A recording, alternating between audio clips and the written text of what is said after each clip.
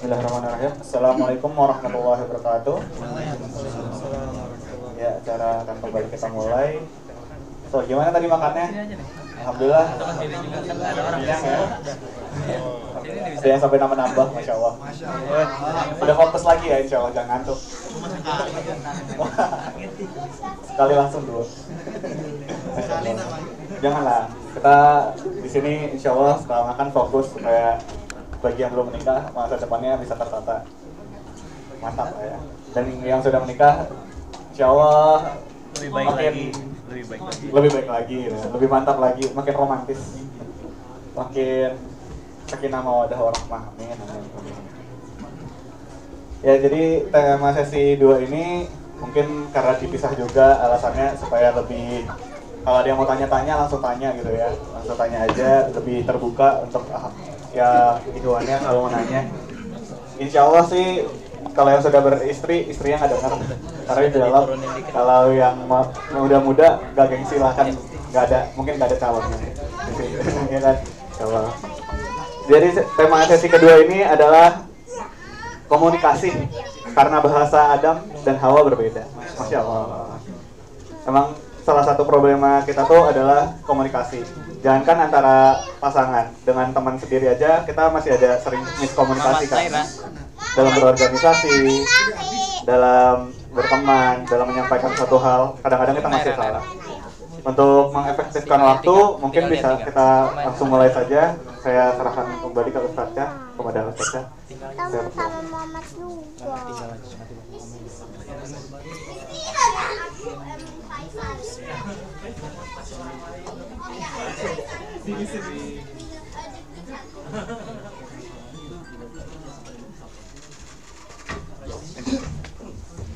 lagi Mama jangan lagi lagi ya bapak marah nanti duduk di sini duduk di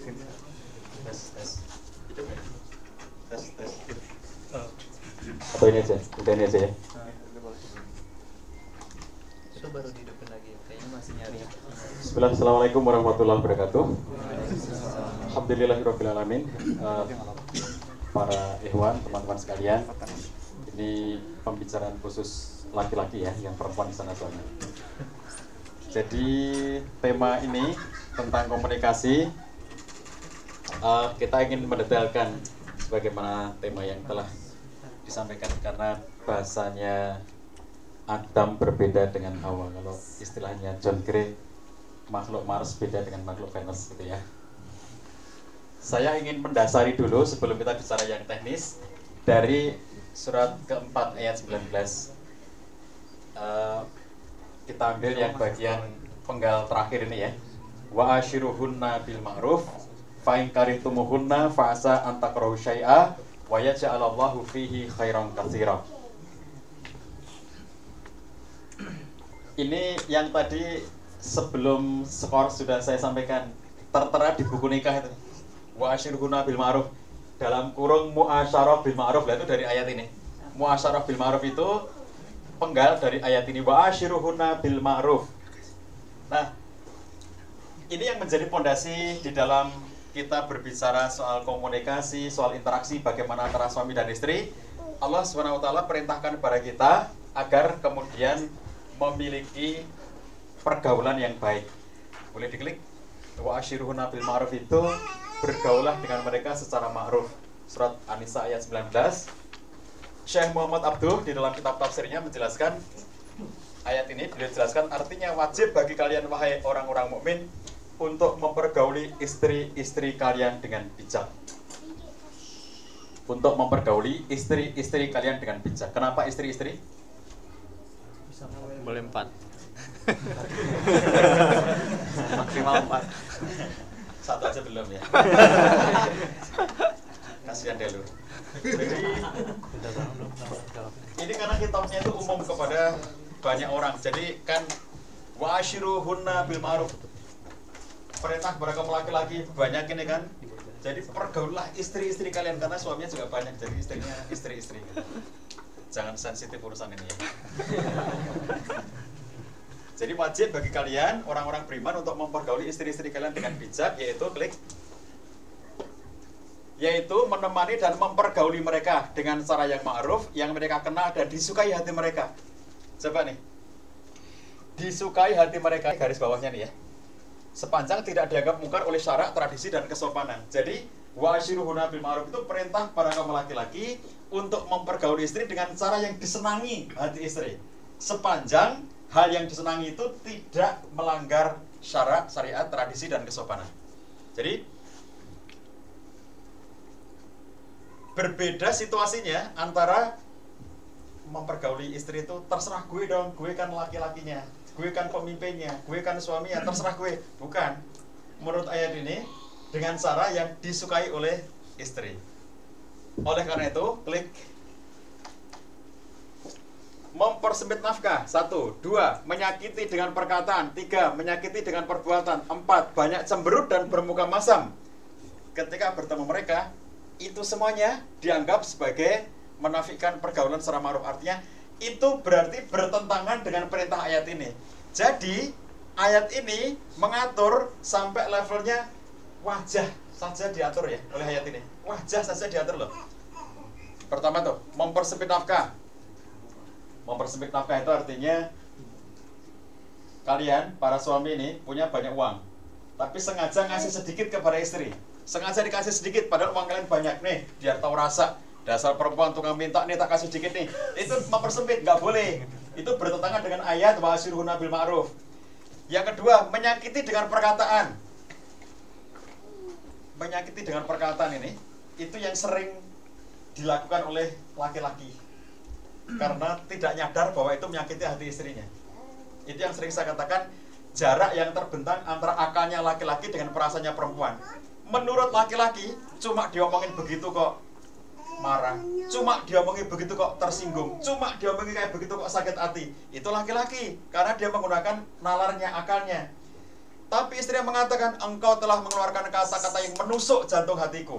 Jadi beda banget. Laki-laki cuma diomongin gitu aja kok tersinggung kamu telah menyinggung aku kamu telah menyakiti hatiku. Yang mana? Laki-laki nggak tahu. Kata-katamu menyakiti. Kata-kata yang mana? Nggak tahu dia. Jadi perkataan laki-laki karena dia menyebutkan, dia mengungkapkan itu dengan ya namanya orang berkomunikasi dan istrinya tersinggung dengan kata-kata suaminya. Dan begitu ditanya dikatakan kamu telah menyakiti hatiku yang mana? Jadi kata-kata yang mana itu membuat istrinya semakin sakit jadi selama ini kamu nggak tahu kalau sudah menyakiti hatiku. Jarak yang terbentang antara akalnya laki-laki dengan perasaannya perempuan. Juga menyakiti dengan, dengan perbuatan bukan hanya dengan perkataan dengan perbuatan. Melakukan sebuah tindakan yang menyakiti hati istri. Banyak cemberut dan bermuka masam. Tuh wajah tuh banyak cemberut dan bermuka masam loh. Jadi salah satu keterampilan suami yang diperlukan untuk merealisasikan ayat ini adalah keterampilan mengelola wajah secampai apa pun sampai di rumah tidak cemberut tidak bermuka masam kepada istri jadi suami yang banyak semberut dan bermuka masam ketika ketemu istri itu dianggap sebagai menyalahi ayat wa ashiruhuna bil ma'ruf. Oh, jadi harus latihan senyum terus ya. Latihan senyum terus, nggak punya uang senyum, capek senyum, pulang sampai di rumah senyum gitu. Klik lagi.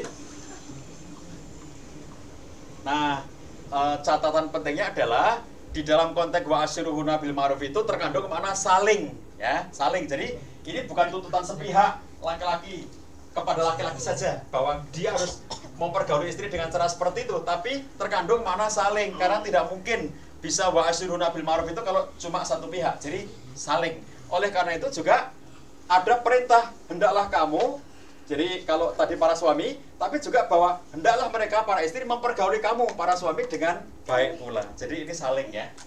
Istri juga nggak boleh semaunya kepada suami, suami nggak boleh semaunya kepada istri. Inilah pondasi kita untuk berkomunikasi dengan baik antara suami dan istri. Saling saling berusaha untuk melakukan yang terbaik. Wa ashiruhuna muasyarah bil ma'ruf itu itu ada dua unsur. Pertama unsur interaksinya, bagaimana interaksi kita hari-hari.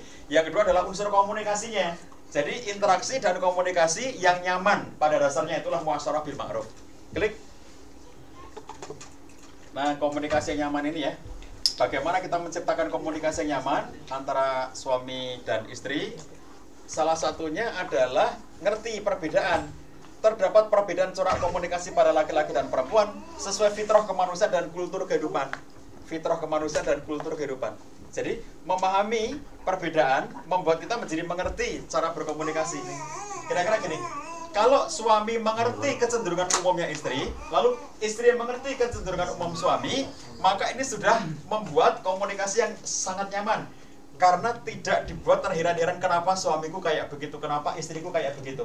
Tidak ada kayak begitu lagi pertanyaan-pertanyaan seperti itu karena sudah tahu bahwa memang ada hal-hal yang sifatnya umum antara laki-laki dan perempuan.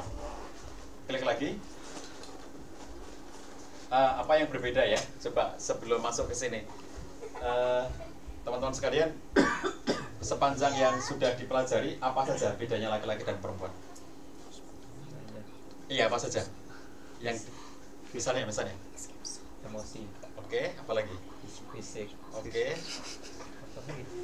Eh, penggunaan hati dan logika. oke, terus apa lagi? ini Luar biasa. Terus apa lagi? penyampaian lelaki lebih direct Eh, Yes, oke. perempuan agak mana yang lebih Berkelok-kelok. Iya. berkelok-kelok Oke. Nah, sebelum itu, itu ada yang sifatnya itu basic, yang sifatnya dari sononya gitu ya. Kalau yang teman-teman sebutkan itu tadi dan yang nanti juga akan kita sampaikan itu adalah hal-hal yang sifatnya oh, fenomena-fenomena di permukaannya. Tapi ada yang melatar belakangi kenapa muncul seperti itu. Coba kita urutkan ya. Nomor satu, bedanya laki-laki dan perempuan yang itu dari sono ya. Dari sono banget. Allah yang ngasih maksudnya. Nomor satunya adalah perbedaan kromosom ya. Oke ya, kromosom. kromosom Di muka bumi ini hanya ada dua jenis kromosom, kromosom laki-laki dan kromosom perempuan. Tidak ada jenis kromosom yang ketiga, tidak ada. Itu seperti juga fikih, hanya ada fikih laki-laki dan fikih perempuan, tidak ada jenis fikih yang ketiga. Seperti toilet, hanya toilet laki-laki dan toilet perempuan. Jadi bencong harus milih salah satu dari toilet laki-laki dan toilet perempuan itu. Nggak ada jenis toilet ketiga. Ada di Jerman ada toilet Ada. ketiga. Disabilitas ada. Disabilitas. Oh ya. kan ini jalan ketiga Ya, ya. Jadi oh, kalau kemarin di Bandara Singapura, ternyata kalau di sini ya, di Bandara Singapura ada toilet keluarga ya, satu ruangan ada banyak sekali toilet tapi satu ruangan gitu untuk keluarga. Tapi kalau dari gender ya tentu hanya dua ya. Eh, karena cara kencingnya juga hanya dua cara, walaupun dia bencong katanya, cara kencingnya tetap hanya dua cara. Jadi mempertegas kromosom ini itu penting. Ini eh, apa sih? Jadi nggak ketukar ya. Kromosom itu nggak ketukar tidak pernah ketukar. Jadi kalau kita baca ayat Quran surat Ar-Rum ayat 30 misalnya eh, Allah firmankan fa'akim wajhaka lid-dini hanifa fitratallah allati fatarana sa'alaiha la tabdila li khalqillah dzalika dinul qayyim walakinna aktsaron nas la ya'lamun. Di situ ada kata-kata eh, fitrah fitrah Allah alati fatorona alaiha. Fitrah Allah di mana Allah itu menciptakan manusia di atas landasan fitrah itu. Nah kalau dalam teori eh, akademiknya kira-kira gitu fitrah dalam konteks penciptaan itu salah satunya adalah kromosom. Jadi kromosom itu hanya dua laki dan perempuan. Dan ini nggak berubah nggak berubah. Kromosom laki-laki begitu kromosom perempuan seperti itu. Makanya begitu ada anak itu lahir dalam kondisi ketidakjelasan nggak jelas ini laki-laki atau perempuan kalau bahasa biologinya hermaprodit ya ada makhluk dua jenis kelamin. Kalau bahasa Arabnya khunsa. Ini entah laki-laki entah perempuan tapi barangnya ada. Begitu lahir kelihatan anak ini punya dua kelamin. Kelamin laki-laki ada bentuknya kelamin perempuan ada bentuknya. Khunsa bahasa Arabnya. Itu kalau terjadi kayak begitu harus diperiksakan ke rumah sakit ke lab untuk memeriksa kromosomnya. Ini kromosom laki-laki atau perempuan. Kalau ternyata terbukti kromosom laki-laki, maka pertegas kelamin laki-lakinya sejak bayi itu dijahit bagian perempuannya itu ya. Kalau ternyata dia kromosomnya itu perempuan, maka potong bagian laki-lakinya. Jadi jelas dari awalnya. Kami punya eh, klien yang 2017 kemarin ya, masya Allah, kami mengharu biru contoh itu. Karena si anak ini lahir eh, sebagai perempuan. Dinyatakan oleh bidan lahir perempuan. Dapat di apa akta kelahiran perempuan. Namanya perempuan sekolahnya perempuan pakaiannya perempuan interaksinya perempuan. Sampai dia SMP itu boarding school jadi pesantren di pesantren perempuan dengan lingkungan perempuan. Dan si anak ini baru ngerasa ada yang tidak beres dalam dirinya ketika sudah kelas 3 SMP karena sampai dengan kelas 3 itu dia satu-satunya santri putri yang belum haid, belum menstruasi sudah kelas 3 SMP dan tidak ada tanda-tanda fisik dalam dirinya. Misalnya dadanya tidak membesar tidak ada menstruasi dan dia merasa aku sendirian. Teman-teman jangankan kok kelas 3 SMP kelas 6 SD sudah banyak yang menstruasi. Sampai level itu dia masih mungkin cuma terlambat. Jadi bapak ibunya juga belum belum bereaksi terhadap itu. Begitu SMA masuk SMA dia kembali pesantren putri. Sehingga di asramanya asrama putri. Begitulah ya dia sebagai perempuan. Sampai kelas 1 SMA tetap juga tidak tidak menstruasi dan tidak ada tanda-tanda eh, bahwa tubuhnya itu sebagai perempuan. Di situ dia mulai curiga ini sudah terlambat banget kalau sudah SMA dan tetap seperti ini. Makanya diajak oleh orang tuanya periksa karena dia tinggal di kampung eh, rumah sakitnya kayaknya tidak tidak terlalu meyakinkan. Dibawalah ke Jakarta si anak ini. Dibawa ke rumah sakit di Jakarta dan cek kromosom ternyata kromosomnya laki-laki. Jadi sudah kelas 1 SMA baru ketahuan kalau dia itu laki-laki. Bagaimana ceritanya dia menjadi perempuan? Karena ketika anak ini lahir bidanya mungkin ragu-ragu juga bidanya ini laki atau perempuan? Terus karena tidak menonjol bagian kelamin laki-lakinya itu akhirnya kemudian ah, ini perempuan. Sehingga akhirnya ini sudah terlanjur setelah satu SMA tapi tidak tahu bahwa dia itu sebenarnya adalah laki-laki. Sekarang problemnya adalah setelah ketemuan kromosomnya laki-laki itu ada dua hal yang sangat sangat sensitif sangat berat untuk untuk mendampingi dia. Itu pertama adalah mengubah jati diri dari yang sampai dari kecil sampai kelas 1 SMA itu perempuan lalu dia harus tampil sebagai laki-laki. Ini mengubah jati diri. Konsep dirinya kacau banget kan? Aku dulu perempuan temanku perempuan namaku perempuan pakaianku perempuan pakai kerudung gitu ya. Dan sekarang aku harus menjadi laki-laki. Kemudian yang kedua adalah lalu kalau dia laki-laki lalu di mana kelaminnya itu? Kok sampai dengan kelas 1 SMA itu nggak nggak keluar itu? Nggak kelihatan tuh? Diperiksa ke rumah sakit satu lagi di Jakarta di yang rumah sakit kedua ini di RSCM dibawa ke RSCM diperiksa teliti di situ ternyata alat kelaminnya itu kayak tersedot masuk ke dalam gini ya. Jadi nggak muncul di di permukaan nggak muncul kayak kesedot masuk ada. Kayak punya laki-laki tapi kesedot masuk ke dalam jadi nggak nggak kelihatan. Nah jadi yang periksa meregangkan pada waktu itu adalah ketika itu menarik kembali untuk mengeluarkan itu loh. Itu kalau sampai sampai gagal itu nanti jati dirinya akan rusak untuk membangun bahwa dirinya laki-laki itu akan susah. Alhamdulillah berhasil tapi membuat dia untuk percaya uh, untuk untuk memulai jadi diri sebagai laki-laki itu butuh proses panjang ya. Kami mendampinginya cukup lama sampai akhirnya setelah saya bilang pertama tarik dari sekolahnya jangan ngomong sama pihak sekolah alasannya apa itu. Pokoknya jangan cerita karena kalau cerita nanti jadi kehebohan. Oh ternyata dia laki-laki nih teman-teman teman-teman satu kamarnya itu kan heboh supaya jangan jangan cerita.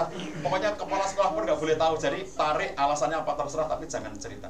Jadi tarik tarik saya bilang taruh di rumah jangan disekolahkan dulu. Dibikin sampai dia percaya diri untuk tampil sebagai anak laki-laki. Cukup lama sekitar hampir setahun.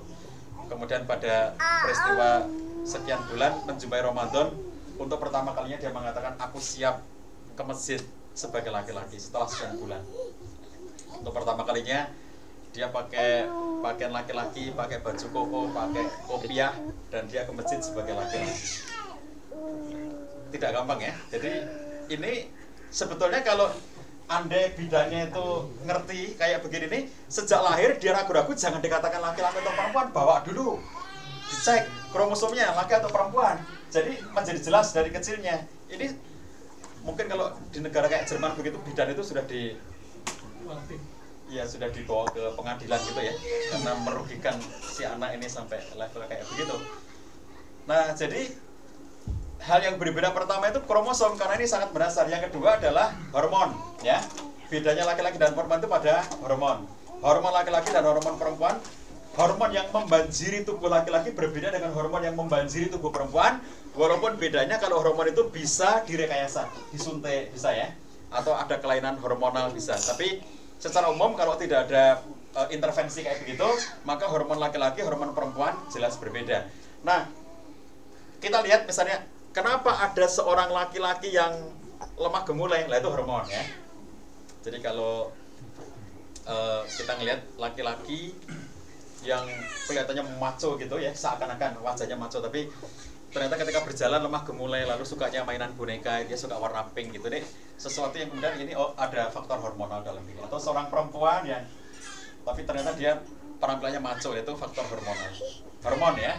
Itu dari sononya tuh. Kita nggak ketika orang dewasa dia bisa nyuntik hormon dalam dirinya. Tapi kalau tidak ada peristiwa seperti itu itu Allah ngasih kepada kita hormon gratis. Ini hormon laki-laki hormon perempuan.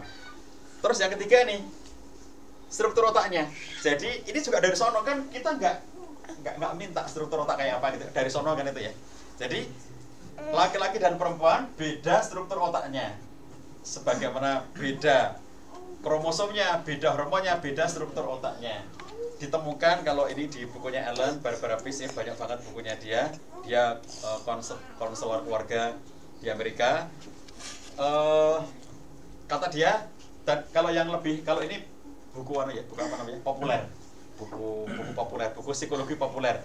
Kalau buku yang ilmiah banget yang pengen mengerti bedanya struktur otak itu bukunya yang sepasang male brain female brain bukunya Lowin Bresendin itu dia membedah secara akademik tentang bedanya otak laki-laki dan otak perempuan. Tapi kalau bukunya Ellen Barbara Peace itu psikologi populer. Jadi ya kalau untuk yang tidak ingin mendalami sangat detail ya enak baca buku ini. Kalau pengen ngerti banget secara ilmiah bukunya Loen Bresendin tadi mumet kalau kita nggak nggak nggak pengen tahu detail-detail malah nggak nggak cocok ya. Dia bilang otaknya laki-laki dan otaknya perempuan itu berbeda kalau laki-laki susunannya jalur majemuk sorry otak perempuan susunannya jalur majemuk kalau laki-laki jalur tunggal. Jadi otaknya laki-laki kalau dilihat strukturnya itu jalur tunggal. Uh, satu gini ya jalur tunggal itu satu gini. Terus kalau perempuan itu jalur majemuk. Jadi bercabang-cabang. Nah tadi yang disampaikan laki-laki direct kalau ngomong perempuan ngomongnya nggak bisa direct. Itu salah satu pengaruh struktur otak itu ya. Karena struktur otaknya perempuan itu bercabang-cabang. Kalau laki-laki itu lurus ini jadi laki-laki itu satu satu strukturnya berbentuk jalur tunggal ini yang disebut dengan multi tracking kalau ini mono tracking jadi otaknya laki-laki mono tracking otaknya perempuan multi tracking itu nanti luas dampaknya itu luas. Beda-beda seperti ini itu dari sononya tapi nanti penampakannya ya yang kelihatan oleh kita tuh menjadi sangat luas. Misalnya laki-laki itu secara umum ini akan nyata kalau dalam kehidupan berumah tangga ya. Kalian yang belum nikah itu kayaknya enggak deh kayak gini nih. Nanti kalau sudah nikah baru ketahuan. Sifat-sifat kayak gini nih ketahuan ketika sudah menikah. Sebelum nikah sepertinya tidak terlalu menonjol perbedaan-perbedaan seperti itu. Misalnya kayak kalau kalian di kampus ya menurut saya kalian berinteraksi laki-laki perempuan dengan teman-teman kayaknya sama aja. Mungkin tidak terlalu berbeda tidak tidak tampak sangat nyata dalam interaksi kalian antara laki-laki dan perempuan. Tapi nanti begitu sudah berumah tangga nyata banget. Antara laki-laki dan perempuan itu antara suami dan istri itu nyata banget misalnya tadi dalam hal direct dan tidak direct. Laki-laki itu ditanya satu jawabannya satu. Itu di rumah. Kalau kalian di kampus kayaknya enggak gitu. Tapi begitu di rumah nanti kalau sudah menjadi suami ditanya satu jawabannya satu. Itu karena jalur tunggal struktur otaknya. Kalau perempuan jalurnya majemuk sehingga dampaknya perempuan itu nggak nggak bisa begitu. Jadi kalau laki-laki kenapa ditanya satu jawabannya satu? Dia tuh fokus kepada dia ditanya apa lalu itu jawabannya itu uh, pulang ke rumah ditanya sama istrinya abang dari mana? Satu pertanyaan abang dari mana? Satu pertanyaan. Dari kantor kata suaminya satu jawaban. Abang sampai enggak? Biasalah. Abang pengen minum teh? Boleh. Manis apa enggak? Sedang aja. Satu pertanyaan satu jawaban beda banget fenomenanya dengan perempuan. Jadi begitu kemudian istri itu ditanya sama-sama pertanyaannya satu di rumah kan? E, dari tadi dari mana? Sama pertanyaannya. Abang tadi dari mana? Kalau suami dari kantor. Titik. Sekarang istrinya datang dek tadi dari mana? Dia tidak mengatakan dari kantor tidak tidak Ya pertama tadi aku kan dari kantor bang, setelah itu aku pulang itu mampir ke rumah teman, ada teman di sana terus ngobrol. Aku tadi ketemu Dewi bang di sana, Dewi tadi cerita macam-macam tentang itu.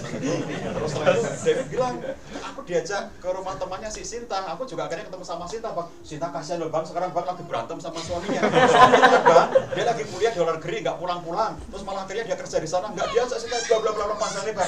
Dari satu pertanyaan, Dek tadi dari mana? Kalau suami, bang tadi dari mana? Dari kantor, titik itu dampak dari struktur otak yang satunya bercabang, satunya tunggal.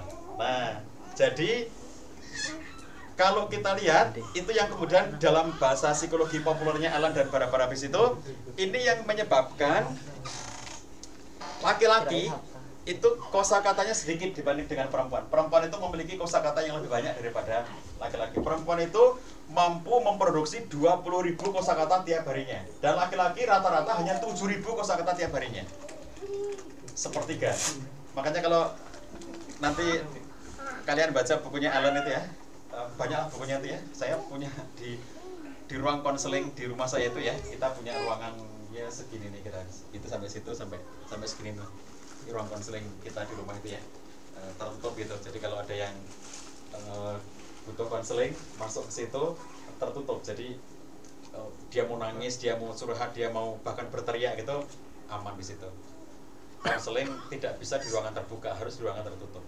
Makanya konselor itu bagusnya berpasangan kalau kita sebagai muslim ya karena kita kita menghadapi klien itu di ruang tertutup. Jadi kalau klien saya perempuan nggak mungkin saya hadapi sendirian. Itu sebabnya mesti ada istri. Kalau kliennya laki-laki juga nanti saya saya klien laki-laki mau perempuan saya selalu menemani berdua menemuinya berdua. Karena nanti akan melibatkan istrinya sehingga kemudian kita akan bisa ngobrol berempat saya istri dan mereka juga dengan istrinya. Dan di ruang konseling itulah saya banyak banget buku-buku buku-buku baik yang dari eh, dari segi syariatnya ya dari segi agamanya maupun dari segi psikologi umumnya psikologi laki-laki perempuannya banyak banget di nah Ellen ini suka bilang begini kalau ada lomba ngomel antara laki-laki dan perempuan nggak mungkin laki-laki itu bisa mengalahkan perempuan dalam lomba ngomel itu. Karena perempuan itu punya kosakata yang tiga kali lipat lebih banyak. Kemampuan produksinya itu ya itu tiga kali lipat lebih banyak. Nah ini yang kalian masih bujang itu nggak bisa bayangin. Karena kalian kalian sama-sama di kampus misalnya atau ke teman-teman teman itu ya kayaknya gitu-gitu aja gitu ya. Kamu juga banyak ngomong teman kamu ya banyak ngomong gitu. Nanti kalau saya posting omongan-omongan kayak gini di medsos misalnya saya posting di Instagram saya posting di Facebook gitu yang paling banyak itu mesti perempuan yang banyak bantah itu ya.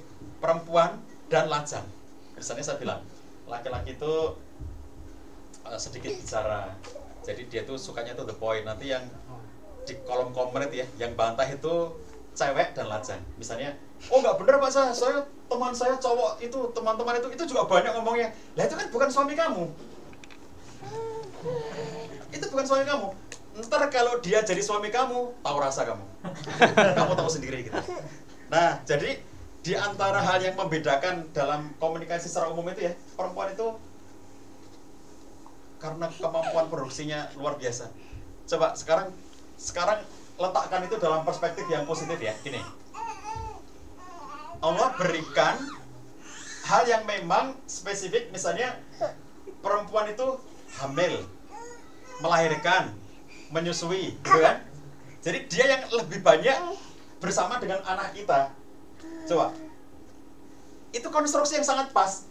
Dengan cerewetnya kaum perempuan itu disebabkan oleh karena struktur otak yang jalur majemuk lalu punya kemampuan multi tracking sampai akhirnya menjadi multitasking ya dari dari jalur otak yang multi tracking itu punya kemampuan multitasking melakukan banyak hal. Sambil ngurusi anak sambil macam-macam itu itu bisa dilakukan oleh kaum perempuan. Laki-laki susah untuk multi tracking secara umum perempuan hebat dalam hal itu. Nah bayangkan saja kalau misalnya sudah laki-laki ini di rumah sedikit ngomong ya. Terus istri-istri itu para pendiam gitu. Nggak banyak ngomong gitu. Itu anak kita bisa bisu. Nggak ada nggak ada kata-kata yang masuk dalam dirinya. Yang membuat anak kita itu pandai bicara itu karena sering mendapatkan asupan kosakata setiap harinya. Dan itu terutama dari ibunya. Ibu gendong tiap hari. Coba kalau ibu sambil gendong diem aja gitu. Anak kita nggak dengar apa-apa. Ngerti nggak? Yang bikin orang itu pandai bicara karena dia mendengar ya orang yang nggak bisa mendengar pasti nggak bisa ngomong. Itu sama dengan kalian. Kalau kalian pengen pintar nulis banyaklah membaca. Yang bisa bikin kalian pintar nulis karena banyak baca. Kalau kalian nggak pernah membaca susah nulisnya. Jadi bisa nulis itu karena banyak baca. Bisa ngomong karena banyak mendengar. Jadi anak-anak kita itu kenapa dia bisa ini adik kecil kita ya? Dulunya bayi nggak bisa ngomong apa-apa nggak nggak jelas gitu. Lalu dilatih abi umi bapak ibu akhirnya dia bisa ngomong. Kenapa? Karena dengar terus. Secara natural istri itu ngomong saja kan. Sementara suami nggak begitu. Jadi kalau punya anak kecil begini besok kalau kamu menikah punya anak pertama begitu pasti bayi kata istri bang bang kalau pagi hari tolong bawa bayi kita keluar kena sinar matahari langsung itu sehat untuk kulit anak kita. Kamu bawa kan? Keluar. Kalau laki-laki diem aja keluar kata istri suruh kena sinar matahari sudah dibawa diem aja gitu kena sinar matahari diem aja gitu. Itu nggak ada omongannya apa apa sementara kalau istri bawa anak itu ya itu sambil bawa semuanya diomongin berita nasional, berita regional, berita iklan-iklan keluar semuanya. Suaminya dari kejauhan, aneh itu anak bayi kok diajak ngomong kayak begitu, apa yang paham anaknya? Lo tidak penting bagi istri apakah anaknya paham apa tidak, tapi nalurinya untuk banyak bicara itu telah memasukkan banyak kosakata ke dalam telinga anak kita. Itu yang bikin anak kita pintar bicara. Jadi jangan pernah memarahi istri cerewet karena itulah naluri yang Allah konstruksikan pas dengan perannya sebagai ibu. Nah kalau ibunya diem aja gini ya, lah anak kita dengar apa? Kalau dia nggak dengar apa-apa, itu nggak bisa ngomong. Yang bikin anak kita pandai bicara, ibunya cerewet. Loh itu konstruksi yang pas banget. Dan cerewet ini karena dia sifatnya natural ya, naluriah gitu, teman-teman sekalian. Itu kalian nanti akan jadi gini. Kalau ngelihat istri kamu itu cerewet, itu artinya adalah dia itu happy bersama kamu, ya.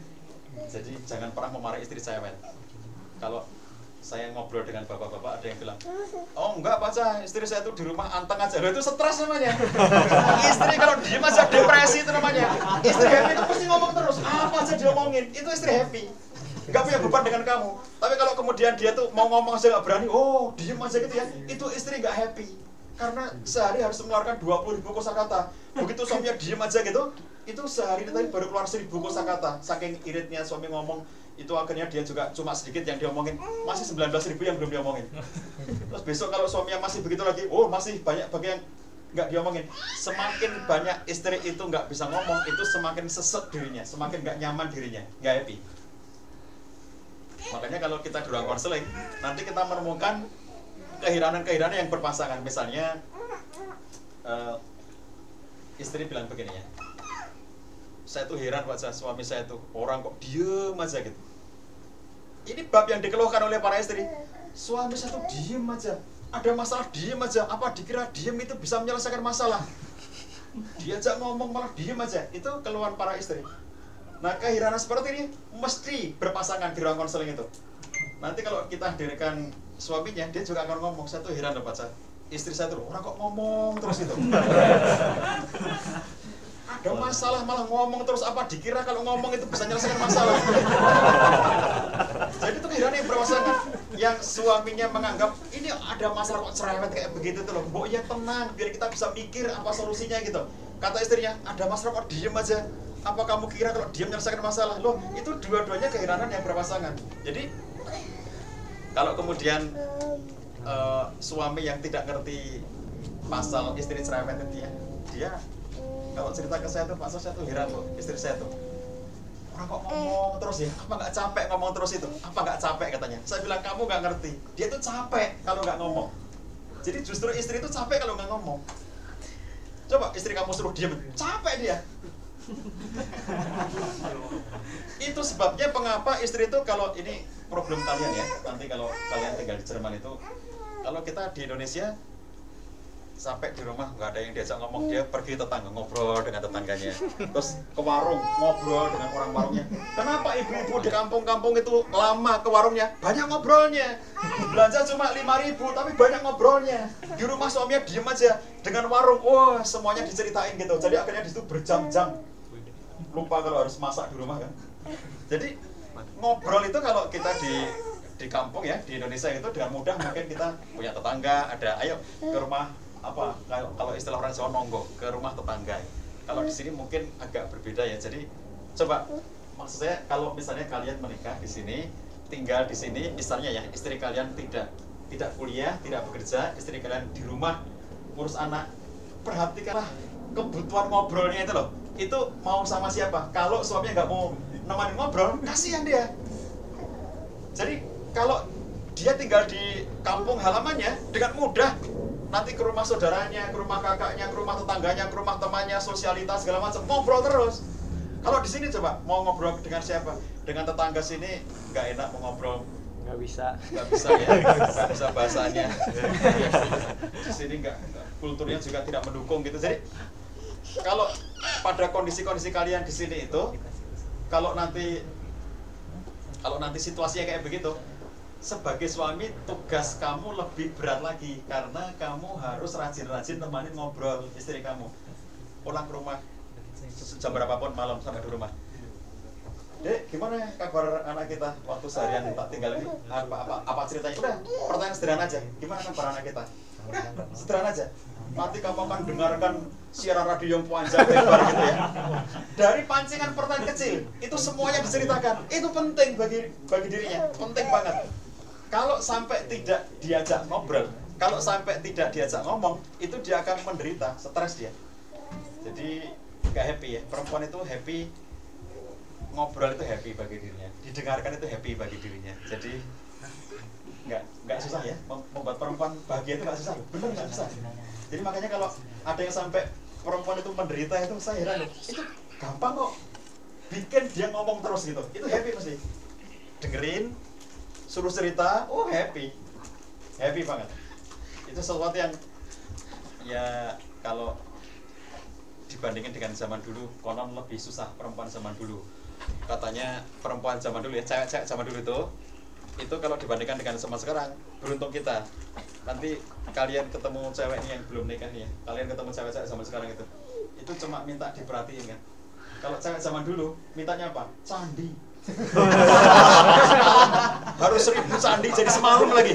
Ya kisahnya Roro Jonggrang Prambanan itu minta candi. Pokoknya aku mau harus candi. Ini Malaysia nggak tahu ya cerita Prambanan. Ada candi. Candi you know candi candi uh, apa Temple. temple. Temple. Temple. Temple. jadi itu ada di Jogja. Ada cerita yang sebetulnya itu cerita legenda yang tidak tidak benar kayak begitu tuh. Cuma diyakini begitulah ceritanya bahwa itu terjadi karena ada orang yang pengen menikah dengan seorang perempuan. Perempuan ini sebetulnya nggak mau tapi karena dipaksa aku mau dengan syarat kamu buatkan seribu patung candi dalam waktu semalam. Wah ternyata kurang satu cuma 999 semalam loh sudah hebat banget itu ya. Cewek, zaman dulu cewek zaman sekarang cuma minta perhatian coba. Berarti lebih mudah lagi kan mendudukan cewek zaman sekarang itu? Nggak minta candi lagi ke kamu itu saya, saya bilang permintaan romantis. Loh sederhana loh permintaan romantis itu. Kalau kamu ngerti tadi yang bahasa cinta itu kamu mesti bisa romantis. Jadi romantis yang diperlukan oleh istri kita itu adalah sesuai dengan tipe bahasa cinta dia. Kalau nanti kamu ketemu istri yang tipe bahasa cintanya adalah kata-kata kamu harus berlatih ngerayu. Kamu harus berlatih bikin puisi. Kalau nggak bisa bikin puisi sersing puisi paling romantis 2018 gitu ya. nanti kamu bacakan di depan istri kamu. Kamu harus pandai mengucapkan terima kasih sudah buatkan teh. Tehmu buatan kamu enak banget ya. Kata-kata seperti itu ya. Ini kalau kalau memang istri kamu tipenya kata-kata. Tapi kalau istri kamu tipenya bukan kata-kata misalnya tipe waktu berkesan yang penting ditemanin pergi diantar pulang dijemput ditemani jalan-jalan. Udah walaupun diem aja pergi mengantarkan perginya menjemput kepulangannya. Diajak jalan-jalan ke mana? Udah walaupun tanpa kata-kata. Itu sesuatu yang dia sudah happy banget karena itu bahasa cintanya. Romantis itu kayak begitu itu. Nanti kalau tipe bahasa cinta istrinya itu misalnya eh, pelayanan ya romantis itu kalau suami banyak memberi pelayanan kepada dia. Ngerti istri sibuk di dapur kita datang dek aku bisa bantu apa nih? Kamu banyak banget pekerjaannya mana tak aku bantu. Itu romantis bagi dia. Jadi kalau kita nggak tahu bahasa cinta dia nanti salah-salah ngerti istri lagi sibuk di dapur gitu ya dek, dek aku hibur kamu ya ada puisi bagus banget gitu kamu bekerja kerja, aku hibur kamu dengan puisi. Dia marah-marah, gombal kamu. Baca puisi kayak begitu, mending kamu ikut bantu aku menyelesaikan masalah ini. Itu lebih menyenangkan bagiku daripada kamu baca puisi tapi nggak bantu apa-apa di sini. Jadi romantis itu beda-beda. Makanya kalau ada yang paling sering dituduh tidak romantis itu suami, ya kamu harus ngerti. Kebutuhan istri akan romantisme ada istilah romansa ya. Jadi gini, kalau salah satu teori dalam relasi laki-laki perempuan itu dikatakan ketika perempuan menikah maka romantis bagi dia itu benar-benar roman. Jadi dalam kehidupannya perempuan itu membutuhkan sentuhan-sentuhan roman yang benar-benar roman gitu. Yang kalau memang dia itu tipenya kata-kata, ya bener-bener kata-kata yang roman banget gitu. Tapi ingat tidak semua perempuan kayak begitu. Kalau nanti tipenya pelayanan, maka kemudian kita agak mendramatisir pelayanan kita kepada istri itu. Nah itu romannya kayak begitu tuh. Kalau tipe dia adalah eh, sentuhan fisik, maka kita mendramatisir sentuhan fisiknya. Apa yang namanya mendramatisir? Jalan digandeng, ini mendramatisir tuh nih. Jalan digandeng itu loh. Kita mengatakan, ini kalau kamu belum menikah mungkin kamu bayangin besok aku akan menggandeng. Tapi besok kalau kamu menikah kamu lupa itu. Karena kamu merasa malu dah. Kalau kultur Indonesia nggak mendukung kayak begitu tuh. Terus kita mengatakan apa patut kita gandeng istri di muka umum? Gitu gitu tuh. Sehingga kemudian jarang banget kamu lihat di Indonesia jarang banget laki-laki dan perempuan bergandengan tangan jarang banget kecuali orang pacaran suami istri gandengan tangan jarang banget. Coba kamu lihat di Indonesia. Jarang banget.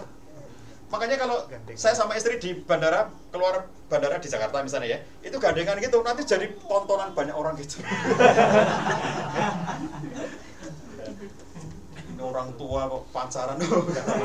Karena ngertinya yang yang gandengan tangan itu orang pacaran. Jadi begitu kita suami istri pegangan tangan sambil jalan di publik itu ya wah itu orang tua pacaran gitu padahal itu istri kita. Jadi kalau kita ngelihat oh, roman roman yang dikendaki perempuan itu kayak begitu menunjukkan bahwa saya bangga dengan dia dan saya gandeng tangannya di depan publik itu sesuatu banget bagi dirinya. Makanya salah satu kasus kalau dalam konteks seperti ini ya. Kemarin saya kumpulkan kasus-kasus kayak begini nih tapi studinya searching online. Saya ambil dari berbagai macam situs berita saya kumpulkan ternyata unik-unik kejadiannya misalnya kayak seorang perempuan di India menggugat cerai suaminya karena setelah menikah sampai dengan enam bulan suaminya itu tidak mengganti statusnya di Facebooknya bahwa dia masih lajang itu nggak diganti-ganti gitu. itu enam bulan sampai dengan enam bulan tidak diganti bahwa dia sudah menikah gitu. Dan akhirnya dia minta agar segera diganti nggak diganti juga. Bulan ke-6 itulah dia menggugat cerai suaminya. Coba ini kan romantis kayak gitu ya. Apa istilahnya itu ya? Bener-bener roman jadi didramatisir gitu romannya itu menikah. Terus terus kemudian dia tunjukkan saya sudah menikah dan kemudian di Facebooknya ditunjukkan ini istri saya gitu ya. Itu sesuatu yang yang menyenangkan bagi bagi istri. Roman beneran kayak begitu tuh oke. Eh, boleh kita lihat bagian-bagian yang berbeda nih antara laki-laki dan perempuan. Eh, oh ya ini multitasking dan visual spasial ini ya. Ini gini gini kalau kalau laki-laki visual spasial itu konteksnya gini. Jadi kalau kata Ellen karena laki-laki itu eh sebentar. Karena perempuan itu otak kanan dan otak kirinya berkembang sama bagus menyebabkan dirinya malah kacau dalam konteks konsep ruang. Jadi konsep ruangnya perempuan itu ini yang disebut dengan visual spasial itu itu jelek. Laki-laki unggulnya dalam konteks visual spasial. Jadi konsep ruang konsep ruang. Misalnya gini naik mobil ah parkir. Parkir. Naik mobil di jalan raya gitu ya. Jadi kalau kita di Indonesia hmm, kita naik mobil di depan kita itu ada ada mobil yang jalannya pelan banget nggak di kanan nggak di kiri. Jadi nggak, mestinya kalau kita di kiri kan tapi dia di kanan juga enggak di kiri juga enggak dia di tengah-tengah gitu pelan-pelan. Itu pasti ibu-ibu. Yang nyopir. dan kanan belok kiri saya nulis itu saya di wah yang komen mencaci maki saya banyak banget itu padahal ini ilmiah loh. Saya saya nulis tentang itu sign kanan belok kiri. Yang bikin saya di netizen marah sama saya itu gara-gara saya dramatisir emang tulisan itu. Seorang perempuan lulusan UI saya bilang itu kan. Nah lulusan UI nya saya saya tunjukkan itu lulusan UI alumni UI marah sama saya gak mungkin orang UI kayak begitu gitu. Padahal kontaknya bukan itu. Saya ingin menunjukkan perempuan itu sepintar apa pun walaupun dia lulusan UI walaupun lulusan Jerman walaupun dia dokter dia tetap punya sisi perempuan. Itu poinnya di situ bukan soal lulusan mananya bukan soal itu. Jadi perempuan itu konsep visual spasialnya kacau. Makanya kalau eh, dalam hal menyetir perempuan lebih mudah nyetir sambil multitasking daripada parkir. Parkir itu pekerjaan laki-laki. Jadi nyopir sambil multitasking itu gini. Dia nyopir ini di Indonesia ya Jerman nggak mungkin kayak gitu. Indonesia. Nyopir sambil gendong anak kan punya bayi tuh. Sambil gendong sambil gendong bayi nyopir sambil menyusui mohon maaf. Sambil nyusui bayi digendong ini sambil nyetir sambil handphone. Itu kan multitasking tuh. Handphone satu nyopir dua gendong anak tiga menyusui anak empat kan. Sambil itu semuanya dilakukan dia bisa melakukannya tapi parkir perkara yang susah bagi mereka. Parkir mundur susah bagi mereka. Makanya kalau di mall ya di ruang-ruang parkir mall itu ya kan ada batas-batas garis tuh garis-garis putih. Mestinya mobil itu di antara dua garis putih kan di sini putih di sini putih ini di tengah-tengahnya gitu. Kalau kalian ke mall nanti itu di atasnya garis putih gini ya mobilnya itu. Tunggu aja di situ. Mesti perempuan tadi yang parkir. Jadi konsep visual spasial kayak gitu tuh. Kalau istilahnya Ellen dia bilang gini dari dulunya kata Ellen laki-laki dan perempuan itu ini sejak zaman purba kata dia. Zaman purba itu tugasnya laki-laki adalah mencari jalan. Jadi peta ya jalan. Terus dia bikin konsep pemukimannya di mana zaman purba ya? Pemukimannya di sini kemudian ini tempat untuk berkebun apa segala macam itu ya nah ternyata secara generatif laki-laki itu mempunyai insting yang kuat tentang visual spasialnya kemampuan yang kuat tentang itu. Bahkan dia mengatakan perempuan itu 50% dari perempuan di muka bumi ini bingung kalau spontan ditanya kanan dan kiri. 50% perempuan di muka bumi ini kata Ellen ya saya kalau ngomong ini dimarahi sama ibu-ibu 50% perempuan di muka bumi ini kalau spontan kanan kiri dia bingung. Jadi kalau nanti ketemu istri yang nggak bingung itu berarti masuk yang 50% satunya itu.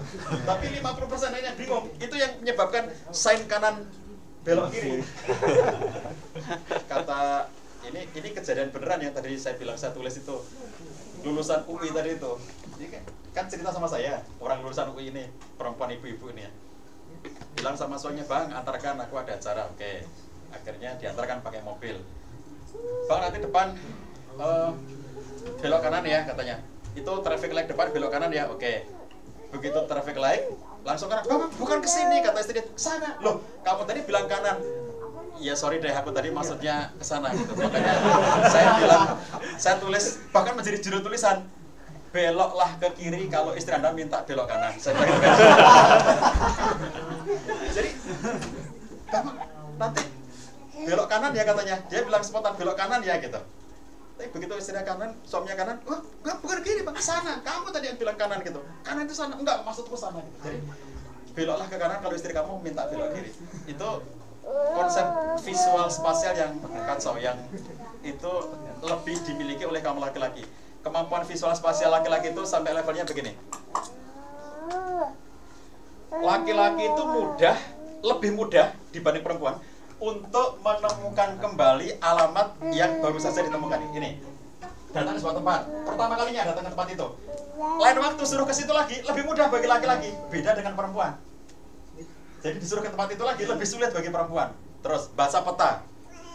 Bukunya Ellen kan judulnya Mengapa Why Why Why Men Lie? Mengapa laki-laki berbohong dan perempuan sulit baca peta? Mengapa perempuan sulit baca peta? Ini konsep kemampuan visual spasial itu ya. Susah makanya kalau bikin peta, bikin acara ini, acaranya di mana? Terus misalnya dibikinkan peta, jangan perempuan yang bikin peta. Kalau wanitanya ada laki-laki, ada perempuan, yang bikin peta harus laki-laki jadi saya itu suatu ketika di Jogja ya diminta saya salah satunya dikenal tukang ngasih tukang tukang ngasih apa sih endorse kalau ada orang-orang punya rumah makan baru saya disuruh datang pak saya cicipin rumah makannya nanti di endorse. Oke okay. saya mengendorse ya di medsos gitu. Suatu ketika ada teman ibu muda gitu baru menikah punya anak kecil. Undang saya pak Ca, ada rumah makan saya tolong di endorse. Oke saya datang. Di mana bu? Eh, tempat rumah makannya? Dia bilang jalan ini nanti bapak ketemu traffic light traffic light ke kiri di situ nanti kurang lebih 50 meter ada pertigaan lalu persis di pertigaan itu di kiri jalan kata dia. Nah saya sampai jalan itu. Suruh ke kiri saya kiri. Terus katanya ada pertigaan. 50 meter pertigaan kok nggak ada? Ini sudah lebih dari 50 meter pertigaannya nanti jauh di sana baru ada pertigaan. Terus setelah itu oke ini pertigaan pertama yang satu Mei. Terus katanya kiri jalan persis pertigaan itu kok nggak ada. Rumah makan seperti lama yang itu bahkan bukan rumah makan. Saya berhenti telepon lagi ibu di mana tempatnya? Saya sudah seperti antar-antar yang ibu berikan. Iya pak saya itu kalau sudah traffic light pertama tadi bapak ke kiri.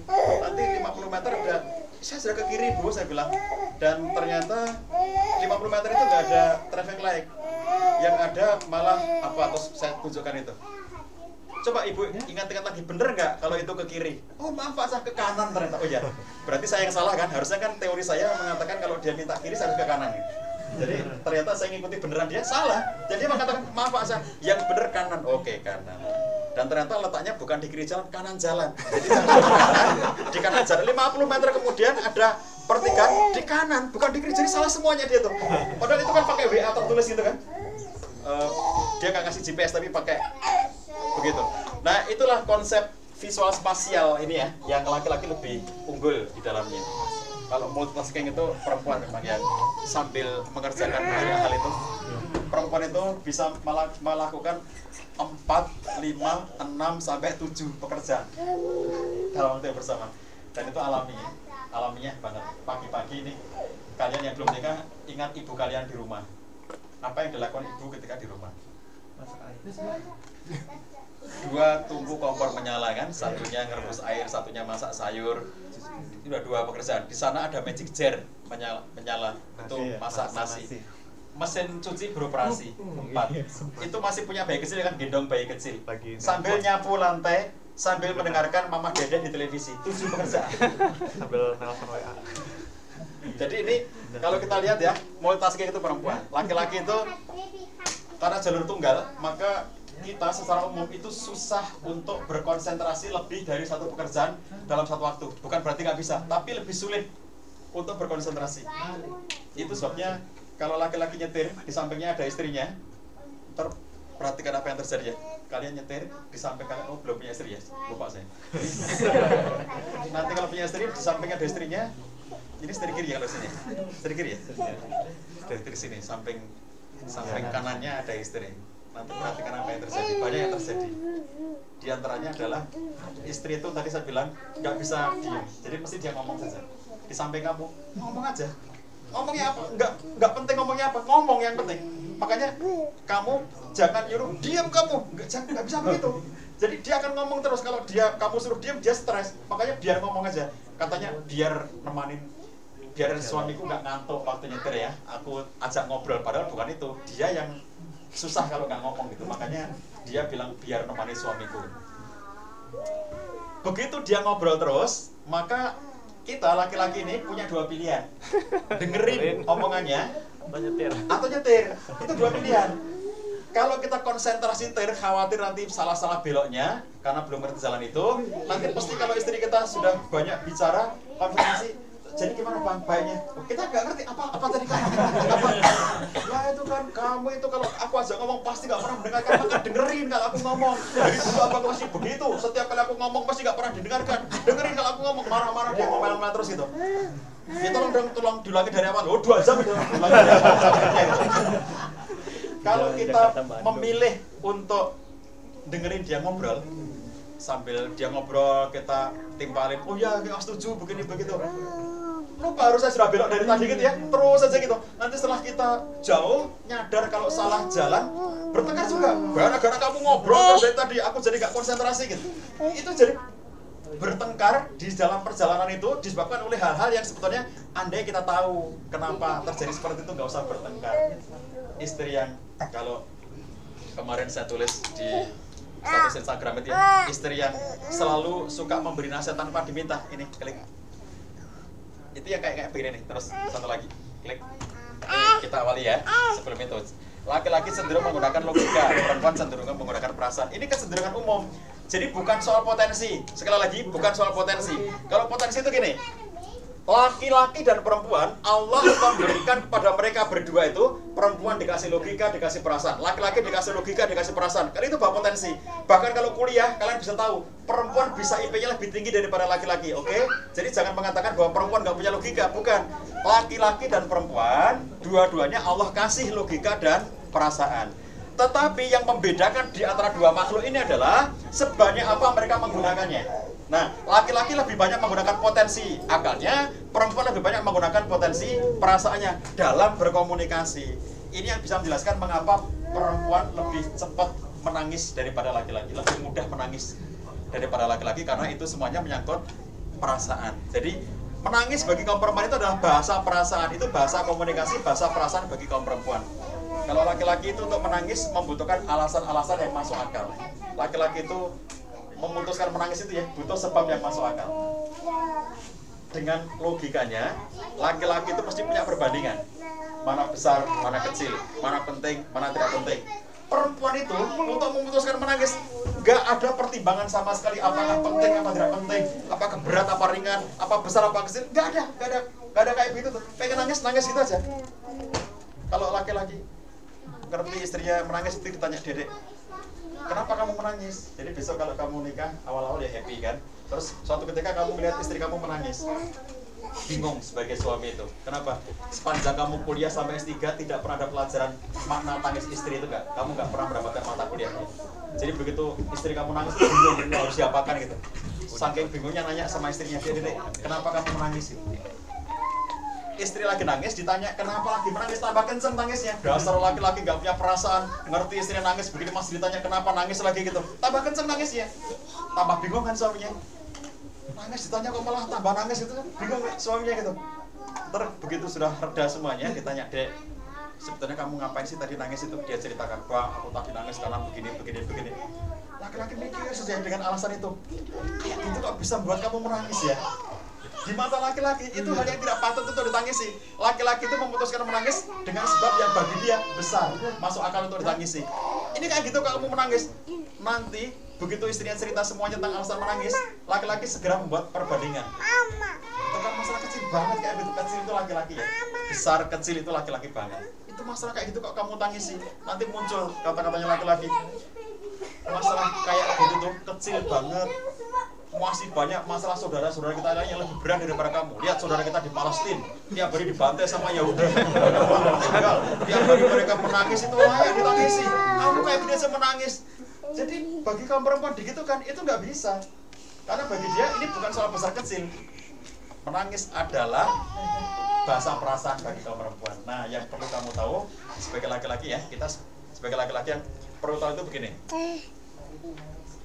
seandainya tangisnya perempuan itu diwujudkan dalam bentuk kata-kata, kira-kira kata-kata apa yang bisa mewakili tangisan perempuan itu? Jadi seandainya itu diwujudkan dalam bentuk kalimat, itu kira-kira kalimat apa yang bisa mewakili atau menjelaskan tangisan kaum perempuan itu? Di antara kalimat yang bisa mewakili ya untuk menjelaskan itu begini.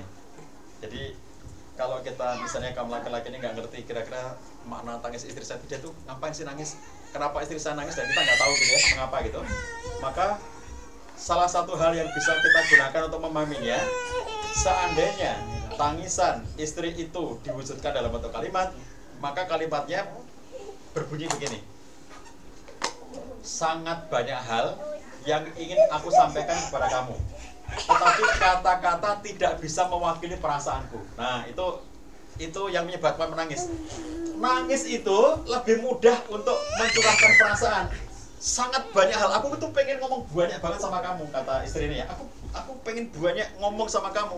Tapi kata-kata nggak bisa mewakili perasaanku. Jadi nangis itu lebih bisa mewakili anda ditulis itu ber, bertumpuk-tumpuk berlembar-lembar tapi dengan nangis selesai sudah itu itu semuanya sudah selesai jadi nangis itu mewakili semua perasaan yang tidak bisa dituliskan tadi itu nah ini yang butuh kita tahu bahwa sebetulnya perempuan menangis itu mengekspresikan bagian-bagian dari perasaannya itu komunikasi ya nangis itu bagian dari komunikasi jangan dikatakan cengeng cengeng kamu enggak nangis itu bagian dari komunikasi. Kalau Ellen menghitung laki-laki perempuan itu perempuan itu dalam situasi normal menangis itu 47 kali setahun. Rata-rata perempuan itu menangis 47 kali setahun. Sampai dihitung ya. Sampai dihitung berapa berapa rata-rata perempuan menangis itu. Laki-laki itu rata-rata hanya 7 kali menangis.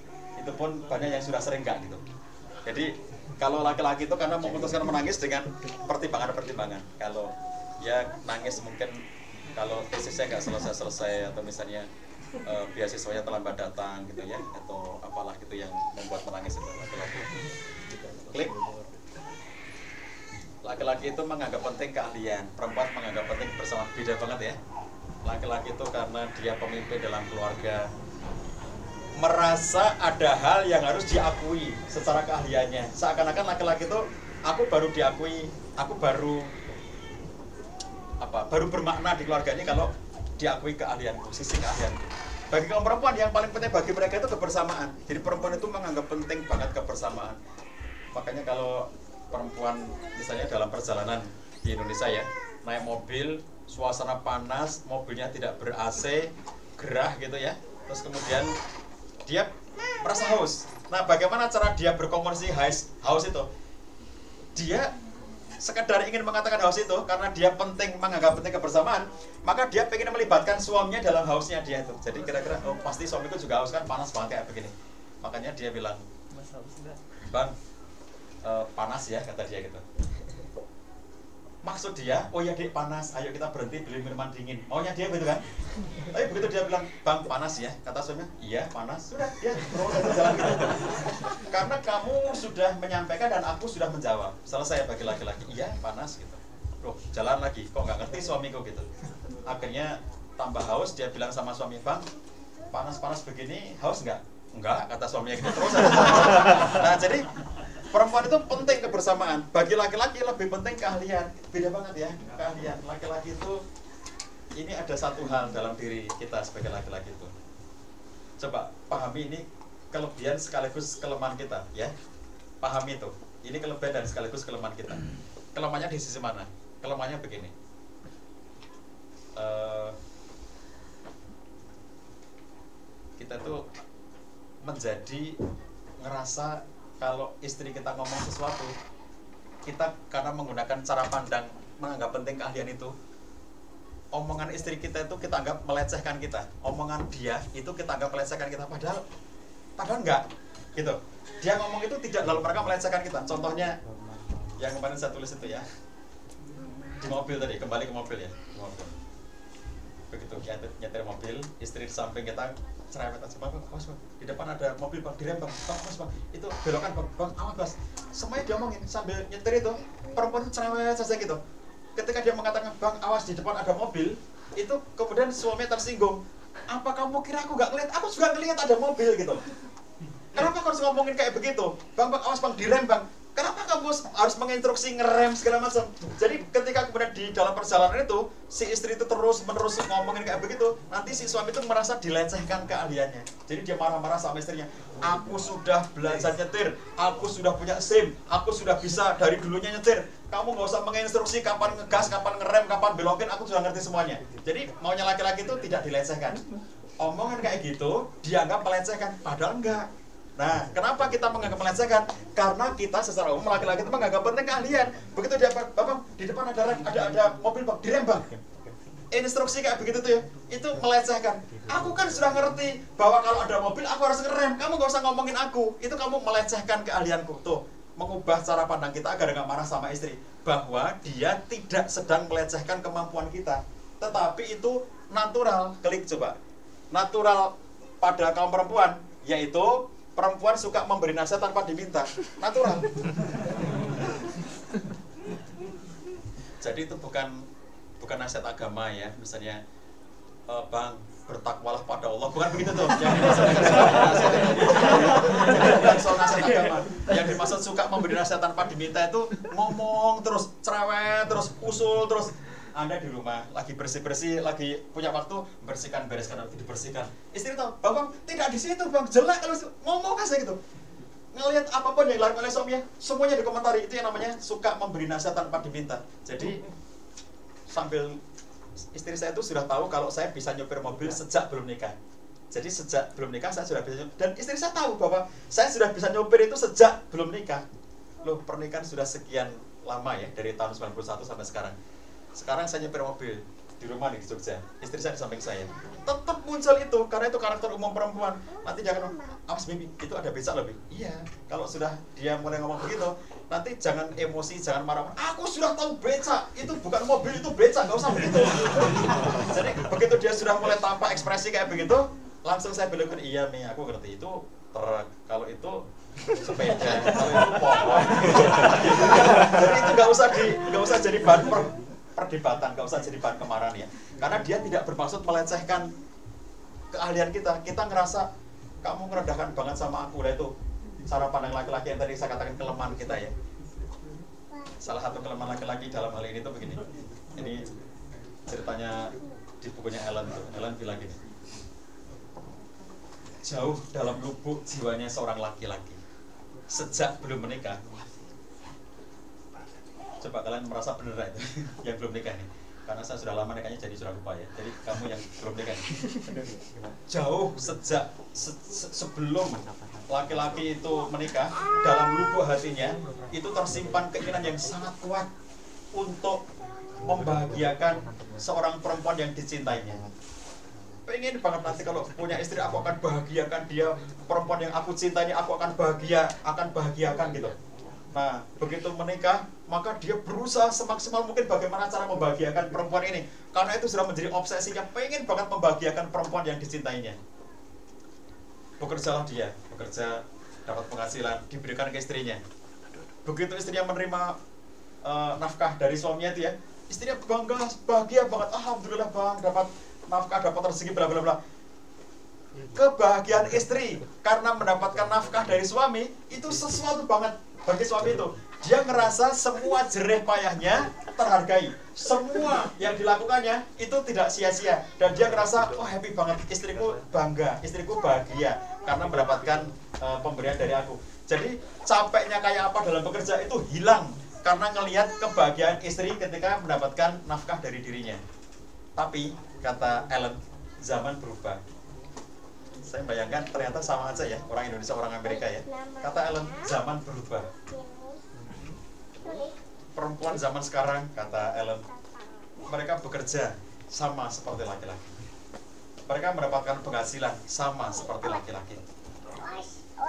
Perempuan zaman dulu di rumah suaminya datang ngasih sesuatu mereka happy banget. Raut muka happynya istri itu itu membahagiakan suami membuatnya menjadi lebih semangat bekerja sekarang perempuan punya uang sendiri perempuan punya penghasilan sendiri perempuan punya pekerjaan sendiri yang mungkin lebih tinggi daripada kamu laki-laki. Begitu kemudian dia datang ke rumah ngasihkan uang sambutannya sudah berbeda tidak kayak dulu. Kalau dulu happy banget raut wajahnya menerima uang itu happy banget itu. Sekarang dikasih biasa aja. Kata istrinya aku juga punya uang segitu yang kamu berikan itu ah, biasa aja lah. Aku uangku lebih banyak daripada yang kamu berikan itu. Jadi tidak ada sambutan bahwa dia happy dia bangga. Nggak ada. Nah pada titik seperti itu ketika kemudian suami lihat kok kayak biasa aja gitu ya? Apalagi ketika istrinya mengeluh bang kamu ngasih cuma kayak begini. Ketimbang kamu ngasih cuma segitu nggak usah aja untuk kamu aja. Untuk usah cari yang lebih banyak daripada kamu. Perasaan laki-lakinya terjatuhkan begitu laki-laki itu jatuh ya perasaan harga dirinya itu oh itu bahaya banget ya. Perhatikan oleh kalian. Perhatikan oleh kita semuanya. Jangan sampai kita mengalami satu masa di mana kita merasa tidak berharga di rumah. Itu kalau di kelas perempuan saya bilang bantu suami kamu untuk dia benar-benar eksis sebagai pemimpin di rumah episode penting bagi kaum laki-laki adalah episode kepahlawanan. Kalau di rumah suami tidak merasa menjadi pahlawan bahaya bagi dirinya dan bahaya bagi keluarganya. Apa? Nggak jadi pahlawan itu? Misalnya gini. Lah ngapain kamu itu? Ngasih aku cuma segini itu. Gajiku lebih banyak daripada kamu. Terus ngapain kamu cuma ngasih aku segini gitu? Apalagi kalau ditambah dengan dasar laki-laki nggak produktif dasar laki-laki tidak bisa nyari uang segala macam gitu itu perasaan kelaki-lakian kita itu jatuh sejatuh jatuhnya merasa tidak berharga di rumah. Dan begitu laki-laki itu merasa dirinya tidak berharga di rumah maka dia merasa dirinya tidak bermakna di rumah. Tidak pernah menjadi pahlawan di rumah. Ketemu kita dengan teorinya si Gary Newman. The Truth About Cheating. 2005 ya.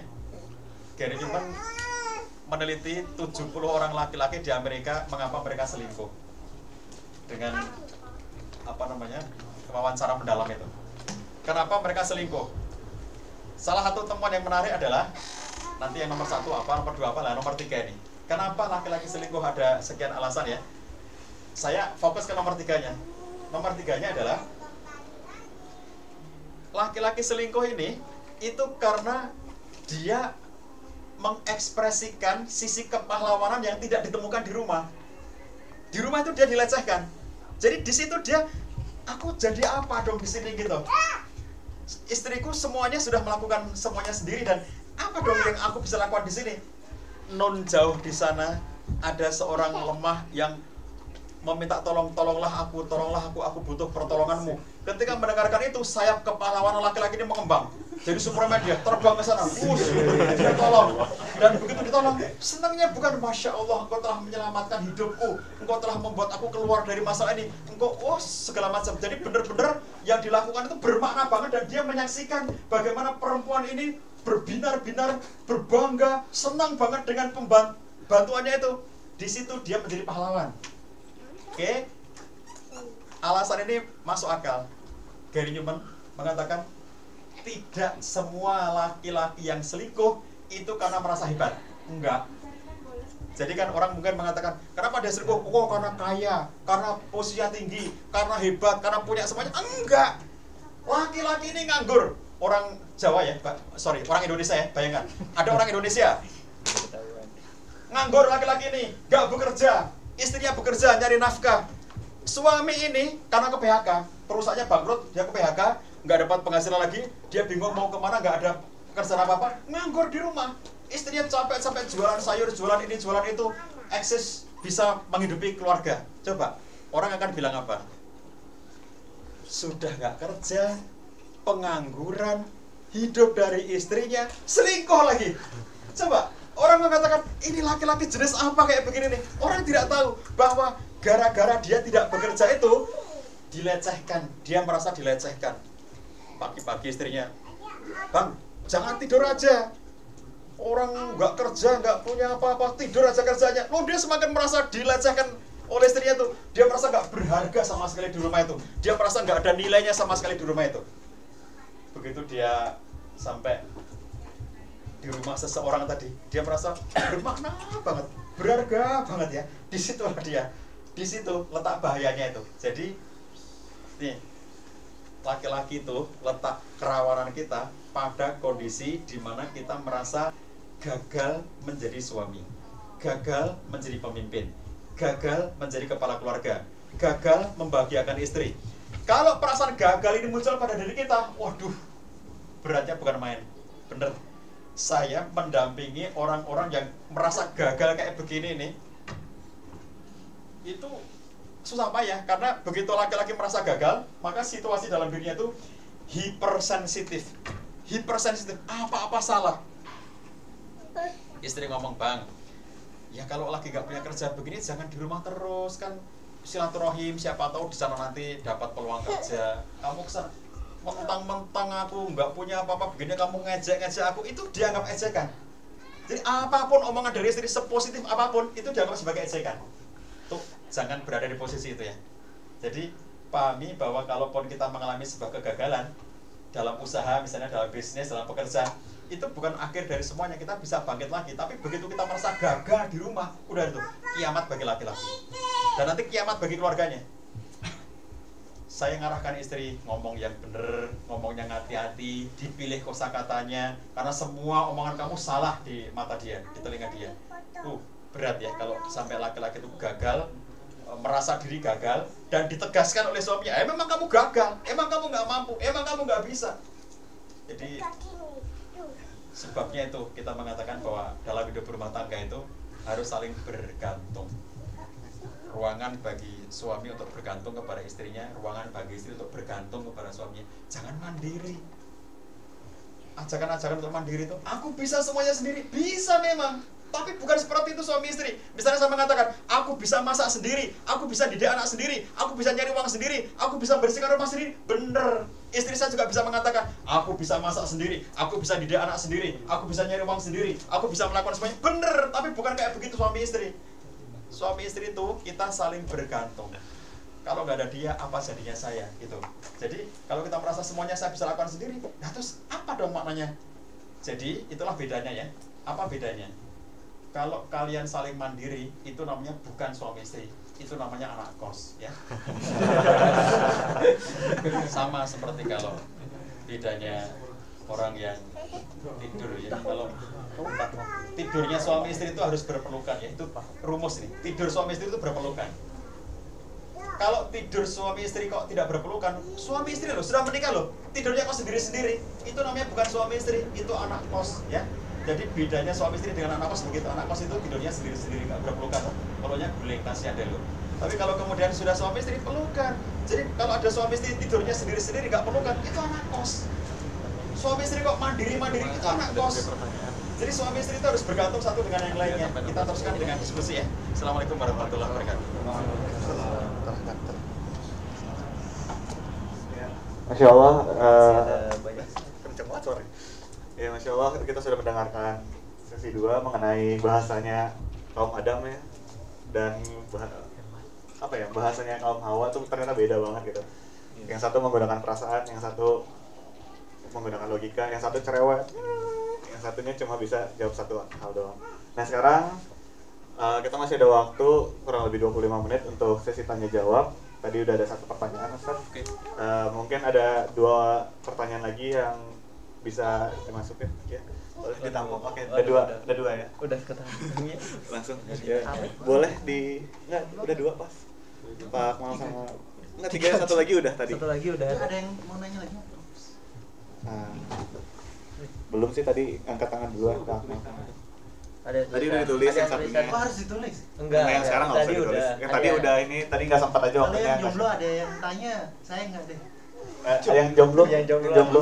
Nggak ada yang jomblo single. Bro oh iya single pilihan. Jomblo nasib memang Single fisabilillah.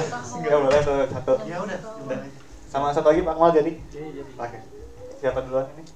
Ya om bimpa dulu. Oh enggak. Yang dekat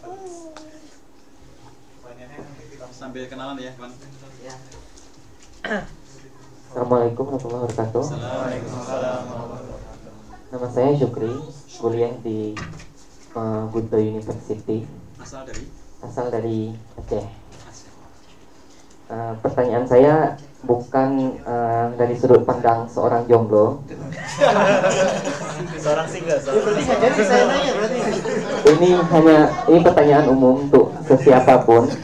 Pertanyaan saya adalah bagaimana cara menyikapi peran ibu yang terlalu dominan di dalam rumah tangga sehingga ayah terkesan kurang berwibawa dan kurang tegas.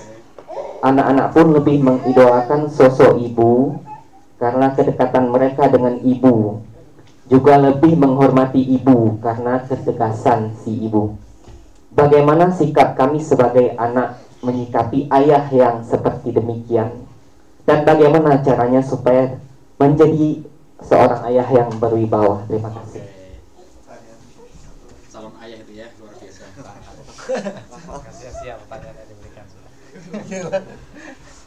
Assalamualaikum warahmatullahi wabarakatuh. Waalaikumsalam warahmatullahi wabarakatuh. Saya Akmal Hidayat. Eh, di sini tinggal di Kasel, asal dari Jakarta.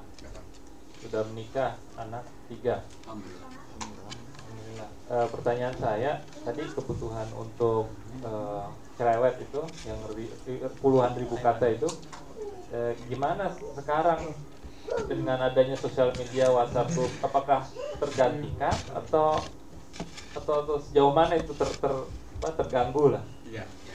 terima kasih Oke. Sama satu lagi dibacakan.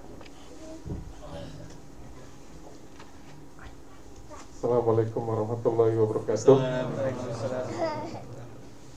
Nama saya Ahmad Sen dari Tegal. Tegal. Ya, dari Tegal, Jawa Tengah.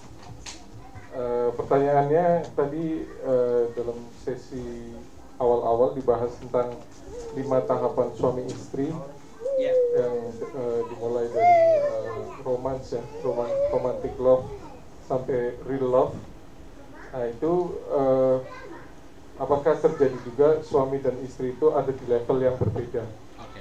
Kemudian eh, jika ini terjadi, bagaimana sebaiknya kita menjembatani menjembataninya? Ya, terima kasih. Ya, Insya Allah tiga pertanyaan itu bisa dijawab Ustaz sampai maksimal menit 45. Eh, terima kasih teman-teman sekalian. Pertama ayah dulu tadi ya. Acehnya Aceh mana Bang? Supir. Lok Semawe. Barusan saya ke Lok Semawe dua minggu yang lalu sampai Takengon juga. Em, coba yang beliau ceritakan itu itu sudah menjadi pelajaran penting bagi kita ya. Coba betapa anak-anak menjadi nggak bisa menghormati ayah ya sosok ayah ketika ayahnya kayak begitu tuh. Jadi ini pelajaran penting bagi kita. Ayah itu harus menjadi sosok yang benar-benar di- menjadi panutan bagi anak-anaknya. Dalam contoh yang lebih ekstrim ya, Mas Sukri, saya punya contoh kasus em, si anak ini kuliah di Jogja sudah tahun kedua dan bapak ibunya baru tahu bahwa ternyata sepanjang dua tahun itu anaknya tidak pernah kuliah di Jogja itu. Sehingga kemudian bapak ibunya ke Jogja kontak saya Pak Cah titip anak saya biar di konseling kayaknya ada masalah karena tiap bulan kami kirimi uang tiap semester kami kirimi uang semesteran. Ternyata dua tahun penuh tidak pernah kuliah sama sekali di Jogja itu saya bilang oke nanti saya bantu tapi kamu harus ketemu dulu sama anak kamu dan tanyakan kenapa seperti itu. Akhirnya bapak datang ke Jogja ketemu anak itu di kos kosannya awalnya anaknya menolak tapi karena ayahnya langsung datang itu aja akhirnya anaknya nggak bisa nolak. Terus diajak ngobrol. Awalnya nggak mau jawab tapi bapaknya seharian di situ. Pokoknya kamu harus terbuka sama bapak. Akhirnya terungkap semuanya.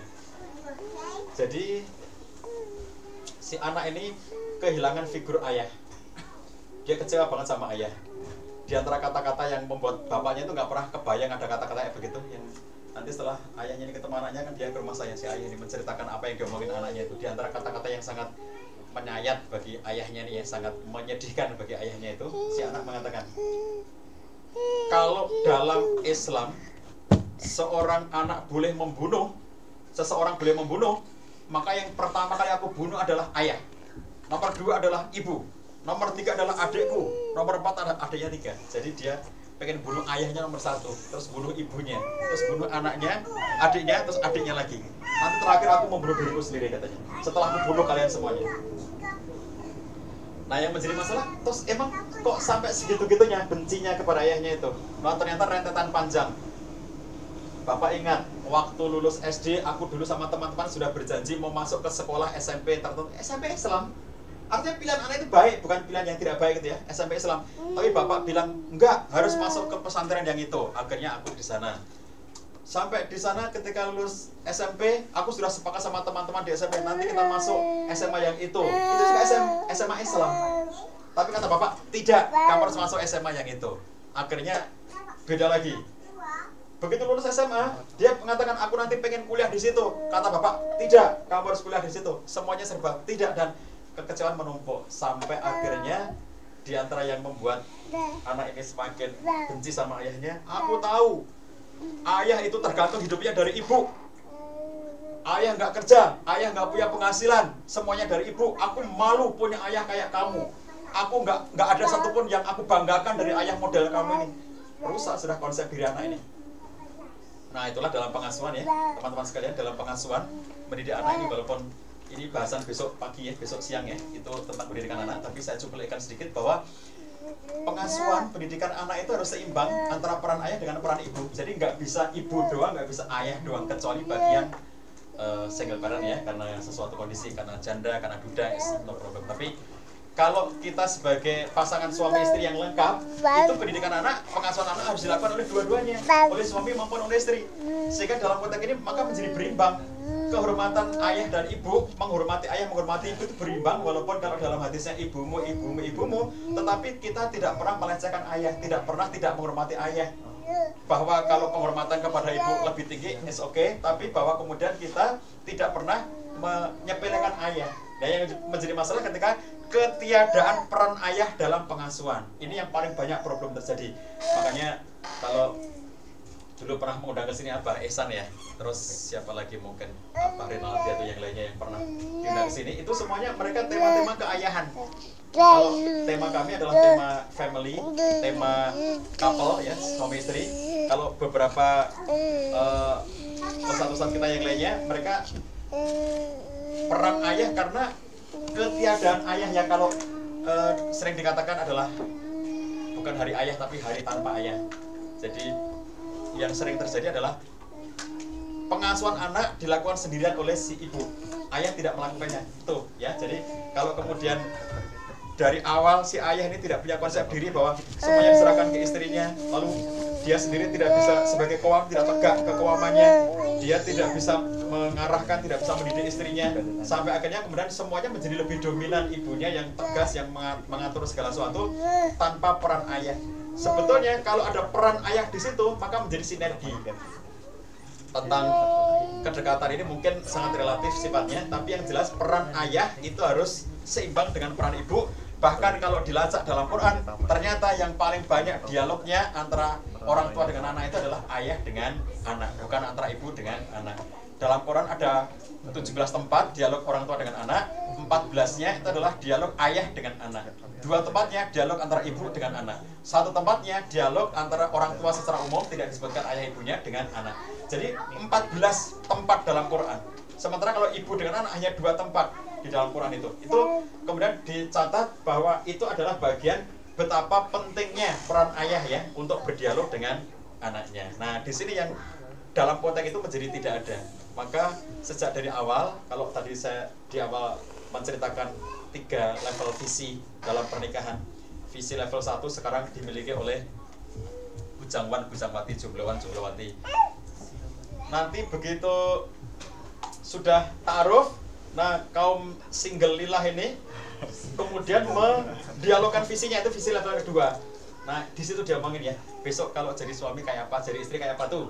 Visi level kedua itu, dia omongin kayak gitu. Sehingga tidak ada yang mendominasi di situ dalam artian perempuan kok mendominasi itu malah kalau dalam hadis menjadi salah satu ciri kedekatnya kiamat itu ya min alamati sa'ah di antara tanda-tanda datangnya kiamat kalau perempuan sudah mulai mendominasi keluarganya gitu jadi itu bagian yang tidak pada tempatnya. Yang terjadi harusnya adalah keseimbangan peran antara suami dengan istri. Bukan istri mendominasi. Suami memang pemimpin tetapi kemudian harus ada keseimbangan peran antara ayah dan ibu antara suami dan istri. Oke itu yang perlu kita perhatikan supaya dari awalnya visi kayak begitu sudah dimiliki oleh kaum laki-laki sejak awal pernikahan ya visi level kedua. Nanti setelah nikah visi level 3 diomongin lagi jadi setelah hidup berumah tangga kita harus membicarakan secara lebih detail bagaimana peran, bagaimana pendidikan anak, bagaimana pengasuhan anak itu kolaborasi yang positif antara ayah dan ibu sehingga tidak terjadi anak-anak yang tidak bisa dekat kepada ayah dan satu sisi yang dalam konteks kasus yang disampaikan Bang Sukri yang perlu dievaluasi adalah peran istri. Di situ istri sangat dominan dan istri tidak membantu mungkin ya saya tidak tahu konteks persisnya. Mestinya istri membantu anaknya nak berbaktilah kepada ayahmu, ayahmu hebat, ayahmu bla bla bla itu harus ibu yang menarasikan. Makanya ada kisah begini. Anak-anak itu baru bisa hormat kepada ayahnya setelah ayahnya meninggal. Setelah ayah mati, ibunya bercerita, "Nak, ayah kamu laki-laki yang hebat. Sejak dia melamar ibu, ibu menerima dia, kemudian dia adalah pekerja yang sangat keras. Bapakmu itu bekerja dengan luar biasa. Di tengah-tengah kita mengalami kondisi ekonomi yang sulit, tapi ayah kamu itu luar biasa. Setelah itu dia mendidik kalian dengan cara yang luar biasa. Ibu menjadi kuat hidup ini bertahan karena ayah kamu yang memang orang laki-laki yang luar biasa. Anaknya baru terkagum-kagum, Masya Allah, bapakku ternyata orang hebat. Sepanjang ayahnya hidup, ibunya nggak pernah cerita kayak begitu kepada anak-anaknya. Dan begitu kemudian ketika suaminya meninggal, baru dipuji-puji di depan anaknya. Tuh anaknya baru mengagumi bapaknya setelah bapaknya mati. Terlambat. Harusnya ibu cerita kayak begitu ketika bapak masih hidup. Nah ayah kamu laki-laki hebat. Waktu ayah masih hidup. Jadi begitu suaminya masih hidup wah wah ayah itu bapak kamu itu diajak ngomong susahnya bukan main. Diajak ngomong malah diem saja. Sudah uangnya susah uangnya sedikit. Sudah begitu sombongnya kayak begitu semua kejelekan bapaknya diceritakan ke anaknya. Lah, anaknya makin jauh dari ayahnya. Setelah ayahnya mati baru nak ada rahasia yang selama ibu nggak pernah ceritakan kepada kalian. Ayah kamu itu laki-laki hebat. Loh lah baru ngomong sekarang? Itu harusnya ngomong ketika bapak itu masih hidup. Memuji ayahnya ayahnya anak-anak memuji suaminya di depan anak-anak. Itu akan membangkitkan kebanggaan anak kepada ayahnya. Nah kalau malah di depan anak itu ibunya jelek-jelekin ayahnya lagi mana ayahnya? A- anaknya mau bangga gitu ya. Ada eh, mahasiswa datang ke rumah. Saya ngisi acara seminar begini di Malang terus selesai acara ada anak mahasiswa kontak saya Pak Cah tadi saya mau tanya tapi waktunya habis di forum boleh nggak saya ke rumah saya oke akhirnya ke rumah dia dari Malang ke Jogja ke rumah saya bertanya tentang ini Pak. Coba di Pak boleh diklik yang ke atas sebelumnya sebelumnya. Oke sebelumnya lagi. Sebelumnya. Oke nomor 7 tadi Pak. Coba nomor 7 8 coba. Yang suka dipercaya ya, oke gini aja. Ini. Jadi kalau nomor 9 tadi apa Pak? Eh, insting Klik, pelacakan. klik Klik. nomor 10 10. 11 11 Oke, ya? oke, oke. Jadi di antara beda laki-laki dan perempuan itu begini. Laki-laki itu struktur dalam dirinya, struktur otaknya itu itu maka maka silakan kalau mau lewat. Jadi struktur otaknya itu ketika menghadapi masalah, laki-laki itu cenderung berpikir hit or run. Ternyata belum saya tulis di sini ya. Hit or run, or ya, bukan n. Hit or pukul atau lari. Jadi gini, anak kecil laki-laki dengan laki-laki. Terus mereka bermusuhan ya, bermusuhan. Terus kemudian karena ada masalah gini ya, terus kemudian mau mau mukul, ntar dulu kayaknya aku kalah deh kalau mukul sama dia lari. Tapi kalau dia berani pukul, kalau nggak berani lari gitu. Setelah kita gede juga sama, kita laki-laki ini ya, ada orang menyinggung kita, harga diri kita tersinggung gitu, marah kita, pengen mukul saja. Tapi begitu masa pukul, ya ampun, anak kecil begini masa aku ngelawan anak kecil, ya nggak pantas lah, nggak jadi. Run, kita udah kita tinggalkan aja. Jadi instingnya laki-laki itu begitu menghadapi masalah, saya hajar kamu, saya lawan kamu, saya hadapi kamu, atau saya tinggalkan. Atonya itu tidak mesti karena kalah, tapi karena kita ngerasa nggak ada gunanya, udah saya tinggalkan aja. Kalau ada orang tua tersinggung dengan anaknya, anaknya ngelawan sama bapaknya, bapaknya marah kepada anaknya itu, mau dipukul, tapi ya ampunin anakku itu nggak jadi, itu ya, itu instingnya laki-laki kayak gitu tuh. Sekarang bedanya perempuan dengan laki-laki dalam hal ketika mereka lagi konflik, perempuan itu secara umum mereka itu kalau lagi ngumpul gini, ini perempuan semua nih ngumpul ya ngobrol-ngobrol-ngobrol sosialita. Terus kemudian eh, lagi asik ngobrol, tiba-tiba ada seorang di antara mereka itu yang pergi gitu yang ngelayar gitu aja. Itu nanti jadi omongan semuanya. Gak sopan tuh kita ngomongnya aja belum selesai dari sana begini malah meninggalkan begitu aja gitu. Pantang bagi mereka, omongan belum selesai ditinggal gitu aja. Pantang bagi mereka. Jadi kaum perempuan itu ngomong sampai selesai. Dan mereka asik ngobrol berlama-lama. Jadi begitu mereka ini belum selesai lagi asik-asiknya tiba-tiba lari gitu aja. Orang nggak sopan gitu. Terus sekarang jadi suami istri. Suami istri di rumah. Begitu istri dan suami itu lagi konflik, suami emosi, marah, hit or run. Dia emosi. Oh, dia nuduh-nuduh saya kayak begini. Sudah saya jelaskan dia tentang percaya. Mau mukul, mau emosi, mau marah, mau ngelawan, tapi ini istriku akhirnya ketimbang aku marah nanti kalau aku di sini omonganku lebih jelek aku mungkin bisa mukul ketimbang begitu aku pergi aja laki-laki begitu kemudian dia berantem sama istrinya begitu dia merasa nyaman meninggalkan. Meninggalkan itu mungkin secara fisik dia keluar rumah atau ke mana gitu atau kemudian dia sengaja menjauh dari istrinya walaupun tidak keluar rumah. Apa kata istrinya? Dasar laki-laki nggak tanggung jawab omongan belum selesai malah ditinggal kayak begini. Berantem lah mereka. Tambah berantem padahal keluarnya laki-laki, larinya laki-laki itu adalah insting untuk menyelamatkan istrinya. Kalau aku terus di sini, nanti aku emosi, omonganku jelek, omonganku mungkin aku tambah jelek omonganku dan aku mungkin mukul kamu. Aku nggak mau mukul kamu. Jadi aku pergi aja. Perginya laki-laki ini dianggap nggak tanggung jawab. Laki-laki nggak tanggung jawab omongan belum selesai. Masalah belum selesai mau dia lari gitu aja. Berantem lah mereka. Si anak tadi mahasiswa tadi yang saya cerita orang Malang tadi ya. Dia ke rumah saya Pak Cah. Bapak ibu saya berantem terus katanya. Bapak itu setiap kali berantem dengan ibu nanti di tengah-tengah pertengahan pasti bapak keluar rumah. Terus setelah itu ibu tambah marah-marah karena belum rampung ngomong bapak pergi. Setelah bapak pergi nanti saya dipanggil. Nak sini nak. Besok kalau kamu nikah jangan kayak bapakmu.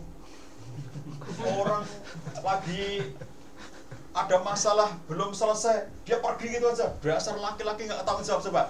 Menanamkan kebencian kepada ayahnya. Nggak boleh kayak begini nih. Nggak boleh jadi akhirnya anak ini ditanamkan kebencian jangan kayak bapakmu. Laki-laki tanggung jawab. Terus nanti malam bapaknya pulang. Ketemu sama dia. Nah besok kalau kamu nikah ya jangan kayak ibu kamu itu. Orang ada masalah kok cerewet terus? Kita kan butuh tenang. Kita laki-laki harus tenang. Jadi kalau cerewet begitu bagaimana kita bisa tenang? Jadi kamu kalau besok ada masalah jangan cerewet kayak ibu kamu itu. Nah si anak ini tanya ke saya kan. Jauh-jauh dari Malang Jogja itu dia bilang. Jadi saya bingung Pak. Saya harus ikut siapa katanya. Kata ayah jangan kayak ibumu. Kata ibu jangan kayak ayahmu. Jadi saya harus kayak siapa kata dia gitu. Terus saya bilang sama dia gini. Jujur sama saya saya bilang. Jujur sama saya. Kira-kira kamu sendiri mendefinisikan besok kalau misalnya ya kamu berantem sama istri kamu kira-kira kamu akan memilih sikap seperti siapa? Saya bilang gitu. Kamu akan mirip ayahmu atau akan mirip ibumu saya seperti ayah Zah. nah bener kamu laki-laki. Saya bilang kamu laki-laki. Ya begitu tuh laki-laki. Jadi yang salah dari si ibu tadi dan yang salah dari bapak ini adalah saling memprovokasi anaknya. Jangan kayak ayahmu jangan kayak ibu. Gak boleh kayak begitu itu. Itu merendahkan membuat anak kita jadi jauh dari ayah dan jauh dari ibu. Gak boleh. Sehebat apa pun kalian kalau berantem itu ya jangan melibatkan anak-anak. Miliki ruangan kantor seperti ini di rumah kalian ya. Yang ada suara gitu. jadi begitu kemudian kalian berantem ayo masuk kantor. Habis itu berantem tembak-tembak dua dua dua dua dua dua. Begitu kemudian sudah keluar itu tenang nyaman gitu. Anak-anak nggak ngerti pertengkaran kalian gitu. Jadi kalau bertengkar kok di depan anak-anak itu menghancurkan mereka. Ngomongin jelek-jelek tentang suaminya tentang istrinya di depan anak-anak menghancurkan mereka. Jadi kayak apa pun perasaan kamu kepada istri kamu omonglah baik-baik kepada anak kamu. Nak ibumu perempuan yang hebat. Dia berbakti kepada suami dia orang yang pandai mendidik anak-anak dia sayang dengan keluarga hebat ibu kamu. Harus kamu begitu. Seperti apa pun rasa yang terkandung dalam diri si ibu dia nggak boleh ngomong jelek di depan anak-anaknya terhadap ayahnya. Nak nak bapak kamu itu laki-laki hebat. Dia pekerja keras. Dia orang yang sangat bertanggung jawab. Ngomong begitu kepada anaknya. Tapi kalau bilang nah besok kalau kamu nikah jangan kayak ayahmu. Loh itu menghancurkan profil ayah yang harus dihormati di depan anak-anaknya. Nah kamu jangan kayak ibumu. Kacau itu bu kamu itu. Sudah bodoh jelek. Oh jelek-jelekin istrinya itu di depan anaknya. Itu menghancurkan profil yang seorang ibu yang harus dihormati gitu. Saya dapat curhatan panjang dari seorang anak mahasiswa laki-laki yang dia menghadiri sidang perceraian ayah ibunya. Jadi cerai di pengadilan agama kan kemudian ada persidangan. Nah si anak ini hadir karena sidangnya akan terbuka. Dia hadir. Dia menyaksikan bagaimana ayah dan ibunya saling berantem di ruang sidang itu. Dan setelah keluar dari ruang sidang itu ya dia menuliskan dengan masya Allah saya membaca ikut nangis ya bagaimana hancurnya hati dia. Menyaksikan orang-orang yang sangat dicintainya itu kemudian saling bertikai di depan umum di depan pengadilan itu. Itu nggak boleh terjadi pada kita semuanya ya. Oke jadi kalau eh, pertanyaan kedua tadi terkait dengan mas eh, apa tadi? Dicatat nggak? Pertanyaan nomor dua tadi apa tadi?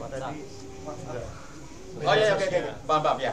Jadi eh, perempuan ya itu secara umum memang dia sangat sangat senang dengan sosial. Kebutuhan sosial bagi seorang perempuan itu jauh lebih tinggi daripada laki-laki. Jadi dia merasa banget kebersamaan itu loh ya perempuan suka kebersamaan itu senang makanya coba perhatikan majelis taklim ibu-ibu di Indonesia berkembang di mana-mana majelis taklim bapak-bapak mati Iya. Jadi pengajian ibu-ibu bertahan terus sampai dari dulu sampai kapan pun gitu ya. Di daerah Jawa Tengah, Klaten namanya, itu ada kecamatan Bayat namanya. Di kecamatan Bayat itu ada pengajian minggu pagi yang pesertanya itu sebagian besar ibu-ibu.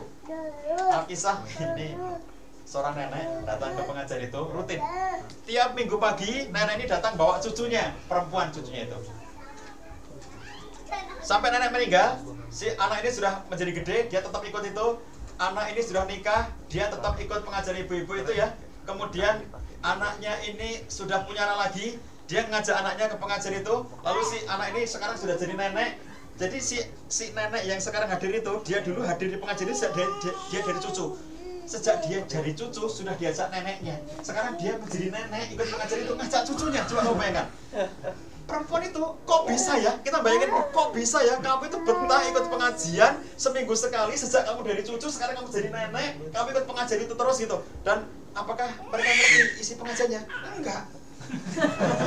Enggak. Coba kalau ditanya tadi isinya apa? Pokoknya bagus sekali gitu pengajian itu hati tenteram nyaman sudah ketemu saat itu sudah penuh berkah. Enggak penting isinya apa. Perempuan itu diundang tidak penting apakah pembicaranya terkenal apa tidak apakah temanya menarik apa tidak. Bahkan kalau perlu tanpa tema diundang datang. Laki-laki itu penting temanya temanya apa besok menarik apa tidak pembicaranya menarik apa tidak. Laki-laki banyak bertanya urusan-urusan kayak begitu untuk ngumpul itu susah bagi laki-laki perempuan itu arisan yuk arisan. Lutisan yuk lutisan ngumpul yuk ngumpul. Nggak butuh ada alasan begitu. Jadi perempuan itu kebutuhan kayak begini tinggi banget. Nah ini yang juga melatar belakangi alasan misalnya ya. Mengapa? Maaf ya ini teori. Ada teori perselingkuhan. Ya teori tentang selingkuh. Kenapa selingkuh selalu ketahuan? Kenapa selingkuh selalu ketahuan? Ya karena ini tadi karena yang diselingkuh itu orang. Manusia. Manusia perempuan yang dia penting eksistensi dirinya itu. Gini gini.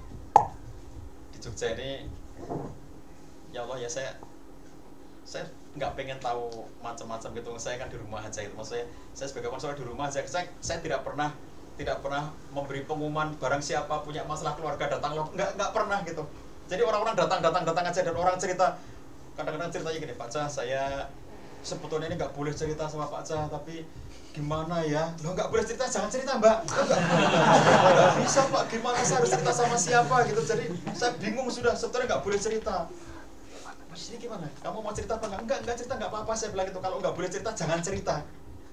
Tapi dia nggak kuat kan? Dia bilang saya itu istri simpanan katanya seorang pejabat dari luar Jogja ini yang ini anak mahasiswa, anak mahasiswi kuliah di Jogja. Orang tuanya nggak mampu kan? Terus dibiayai kuliahnya oleh si pejabat ini dengan satu syarat. Jangan cerita sama siapa siapa lah apa bisa. Ya nggak bisa lah. Jadi semua dipenuhi. Coba bayangkan ya anak ini tidak mampu dari keluarga miskin. Orang tuanya nggak mampu. Terus sekarang ini dia punya rumah. Bagus rumahnya. Ada mobil jazz baru di situ tiap saat ke kampus dia bawa mobil jazz. Masuk rumah rumah bagus rumahnya. Loh teman-temannya yang ngerti status ekonomi dia kan pada heran kamu kok sekarang punya rumah bagus kayak begitu? Kamu kok punya mobil kayak begini? Dulu kamu motor aja nggak punya gitu kan. Shh, nggak boleh cerita. Apalagi orang tuanya Duh, lah kamu kok punya rumah bagus kok kamu punya mobil? Shh, nggak boleh cerita. Gimana coba bisa nggak? Nggak bisa. Dia nggak pernah pergi ke mana-mana gitu terus tiba-tiba diajak pergi ke Singapura jalan-jalan ke Singapura. Orang kalau ke Singapura ngapain? Belanja. Yang lebih penting lagi apa? Foto-foto. Di mana? Di depan patung singa. Ah. Kan singanya mengeluarkan air gitu ya. terus kemudian potret gitu seakan-akan.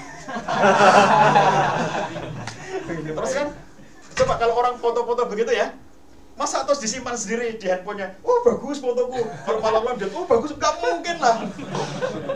Foto ini baru bermakna kalau disebar ke teman-temannya. Ya. coba kita makan. Makannya Waduh, aku dapat makanan enak banget hari ini. Dapat bakwan itu. Loh istimewa banget. Dapat kelepon oh, istimewa banget. Difotokan di share gak mungkin foto kelepon gitu disimpan sendiri? Kelepon terus foto apa gitu loh ya? Nggak nggak mungkin kayak gitu tuh. Jadi foto ini baru menarik kalau kemudian di share ke yang lain. Nanti dapat kelepon wah hebat kamu bisa makan ini bisa makan itu segala macam kan? Jadi kita menjadi lebih berbahagia itu karena sharing. Coba orang ini ke Singapura. Senang sih senang cuma nggak boleh cerita tuh. Lah apa senangnya gitu kalau nggak boleh cerita? Dia sudah terlanjur ngoleksi banyak foto gitu. Akhirnya kemudian dia bikin ke seorang temannya nggak tahan? Disuruh menyimpan itu nggak tahan. Akhirnya dia share ke satu temannya eh ini cuma untuk kamu loh. Jangan di share ke mana-mana ya. Aku ke Singapura ini fotonya gitu. Loh temannya kan heran kok bisa ke Singapura? Kamu kan ngerti dia. Ini orang nggak punya gimana kemampuan ekonominya kok bisa ke Singapura gitu? Eh kamu sama siapa ya? Nggak boleh cerita. Lo nggak mungkin lah. Dia nggak mungkin. Jadi mesti mesti cerita kayak begini nih. Jadi itu sebabnya mengapa selingkuh selalu ketahuan ya? Karena yang diselingkuhi manusia jadi mesti cerita nggak bisa semua bahagianya apa? Dikasih rumah bagus mobil bagus diajak jalan-jalan ke luar negeri dengan satu syarat. Nggak boleh cerita. Lah senangnya apa dia? Ya gak ada senangnya lah. Di, dikurung di rumah yang sangat bagus itu tapi nggak boleh cerita cerita loh senangnya itu ya ngajak teman-temannya ke situ. Eh tak tunjukin rumahku bagus loh rumahku. Seneng itu. Ayo ayo kita jalan-jalan. Aku sekarang punya mobil loh. Oh, seneng itu kalau ngajak jalan-jalan gitu setting Indonesia ya bukan setting orang sini. Jadi begitu kemudian kita di Indonesia seneng banget. Kita jalan-jalan kita ke mana-mana. Oh luar biasa. Dibelikan itu semuanya dengan satu syarat. Gak boleh cerita lah senengnya apa? Gak ono senengnya gak ada. Seneng senengnya gak ada. Stres itu orang kayak gitu tuh. Itu mengapa ya? Eh, selingkuh selalu ketahuan. Nah jadi itu perempuan yang dia butuh ruangan eksistensi yang sangat tinggi. Makanya kalau eh, walaupun ada walaupun sudah medsos mereka tetap butuh sosialita ketemu gitu. Ngobrol gitu. Walaupun sudah sudah oh, luar biasa makanya yang namanya nomofobia ya penyakit yang muncul akibat dari kecanduan gadget itu itu lebih lebih sering muncul pada perempuan dibanding pada laki-laki. Karena kebutuhan sosialita perempuan jauh lebih tinggi daripada laki-laki. Nah cuma kalau saya di rumah itu karena kami saya sama istri itu kerjaan kami itu jualan online ya. Jadi kami sama-sama ke mana-mana bawa handphone karena untuk jualan online. Jadi dikerjakan sampai ke mana-mana. Nah, kalau itu bukan kesanduan tapi jualan namanya ya. jualan online. Nah bagi orang yang tidak seperti itu itu yang berpeluang untuk kecanduan online itu kaum perempuan. Itu bagi mereka menikmati banget ya. Dari pertanyaan ketiga apa sih? Pertanyaan ketiga tadi bagaimana menjembatani suami dan istri itu ada di beda level Pak. oh oke oke. Paham ya ya jadi karena karena level ini adalah level kebersamaan antara suami dan istri maka pada dasarnya mereka itu mestinya berada di level yang sama karena ini level yang mengukur antara suami dan istri. Bagaimana kalau suaminya merasa kita sudah di level 4 tapi katanya enggak bang kita di level 2 Satunya mengatakan enggak deh menurutku aku sudah di level 5 Jadi kalau pulang ya, kalau habis pelatihan begini saya bilang, coba nanti Bapak Ibu di rumah mendefinisikan level berapa. Jadi saya bilang, cirinya gini, kalau kalian nanti menjadi berantem di rumah gara-gara disuruh mendiskusikan ini, artinya kalian level 2. Gara-gara disuruh mendiskusikan kita level berapa, jadi bertengkar. Oh, itu level 2 namanya. Jadi mestinya ini bareng ya, karena kebersamaan yang dibangun. Aku merasa bahagia, aku merasa happy. Adakah orang yang tidak melewati lima limanya? Maksudnya tidak sampai lima ada lah mereka yang bercerai itu ya. Rata-rata perceraian di Indonesia coba saya, saya kasih datanya ya. Data Kementerian Agama RI menyatakan bahwa yang paling banyak perceraian di Indonesia itu adalah mereka yang umur pernikahannya di bawah lima tahun. Tuh, di bawah lima tahun. Jadi artinya selesai dari masa romantic love itu, masuk mulai ke masa kekecewaan level 2 itu, oh kita bercerai saja. Itu yang paling banyak. Jadi orang yang setelah 10 tahun nikah ada tapi sedikit, apalagi yang 20 tahun menikah ada tapi sedikit. Bahkan yang sudah 40 tahun nikah cerai itu ada, yang kakek nenek bercerai itu ada. Saya sedih juga tuh menyaksikan perceraian kakek nenek itu ngapain loh 40 tahun menikah dan akhirnya mereka bercerai itu ngapain gitu. Tapi ya itulah ya hidup manusia yang kadang-kadang susah kita menebaknya tapi itu dikit banget yang begitu yang paling banyak adalah mereka yang bercerai itu umur pernikahannya di bawah lima tahun betul-betul mendefinisikan suasana di mana mereka itu semula happy happy karena fasenya fase pertama romantic love lalu kemudian masuk fase kedua nggak siap dampaknya kemudian mereka milih cerai. Itu kayak naik motor itu ya. Mas kalian yang belum nikah nih ya. Itu naik motor nih.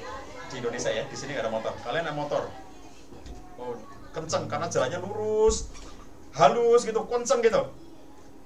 Tidak tahu di depan itu ada lubang. Karena kamu nggak tahu motor kamu nyemplung situ nggak siap jatuh terpelanting kita. Kalau kita tahu di sana ada lubang maka begitu kemudian sudah dekat dengan lubang itu kita menghindar cari tempat yang kemudian tidak kena lubangnya itu. Atau kalau jalan lubangnya itu sudah sepenuh jalan ini maka kemudian kita ngerem pelan-pelan kemudian motor kita turunkan naik lagi selamat. Itu tadi. Ngerti romantic love itu ya?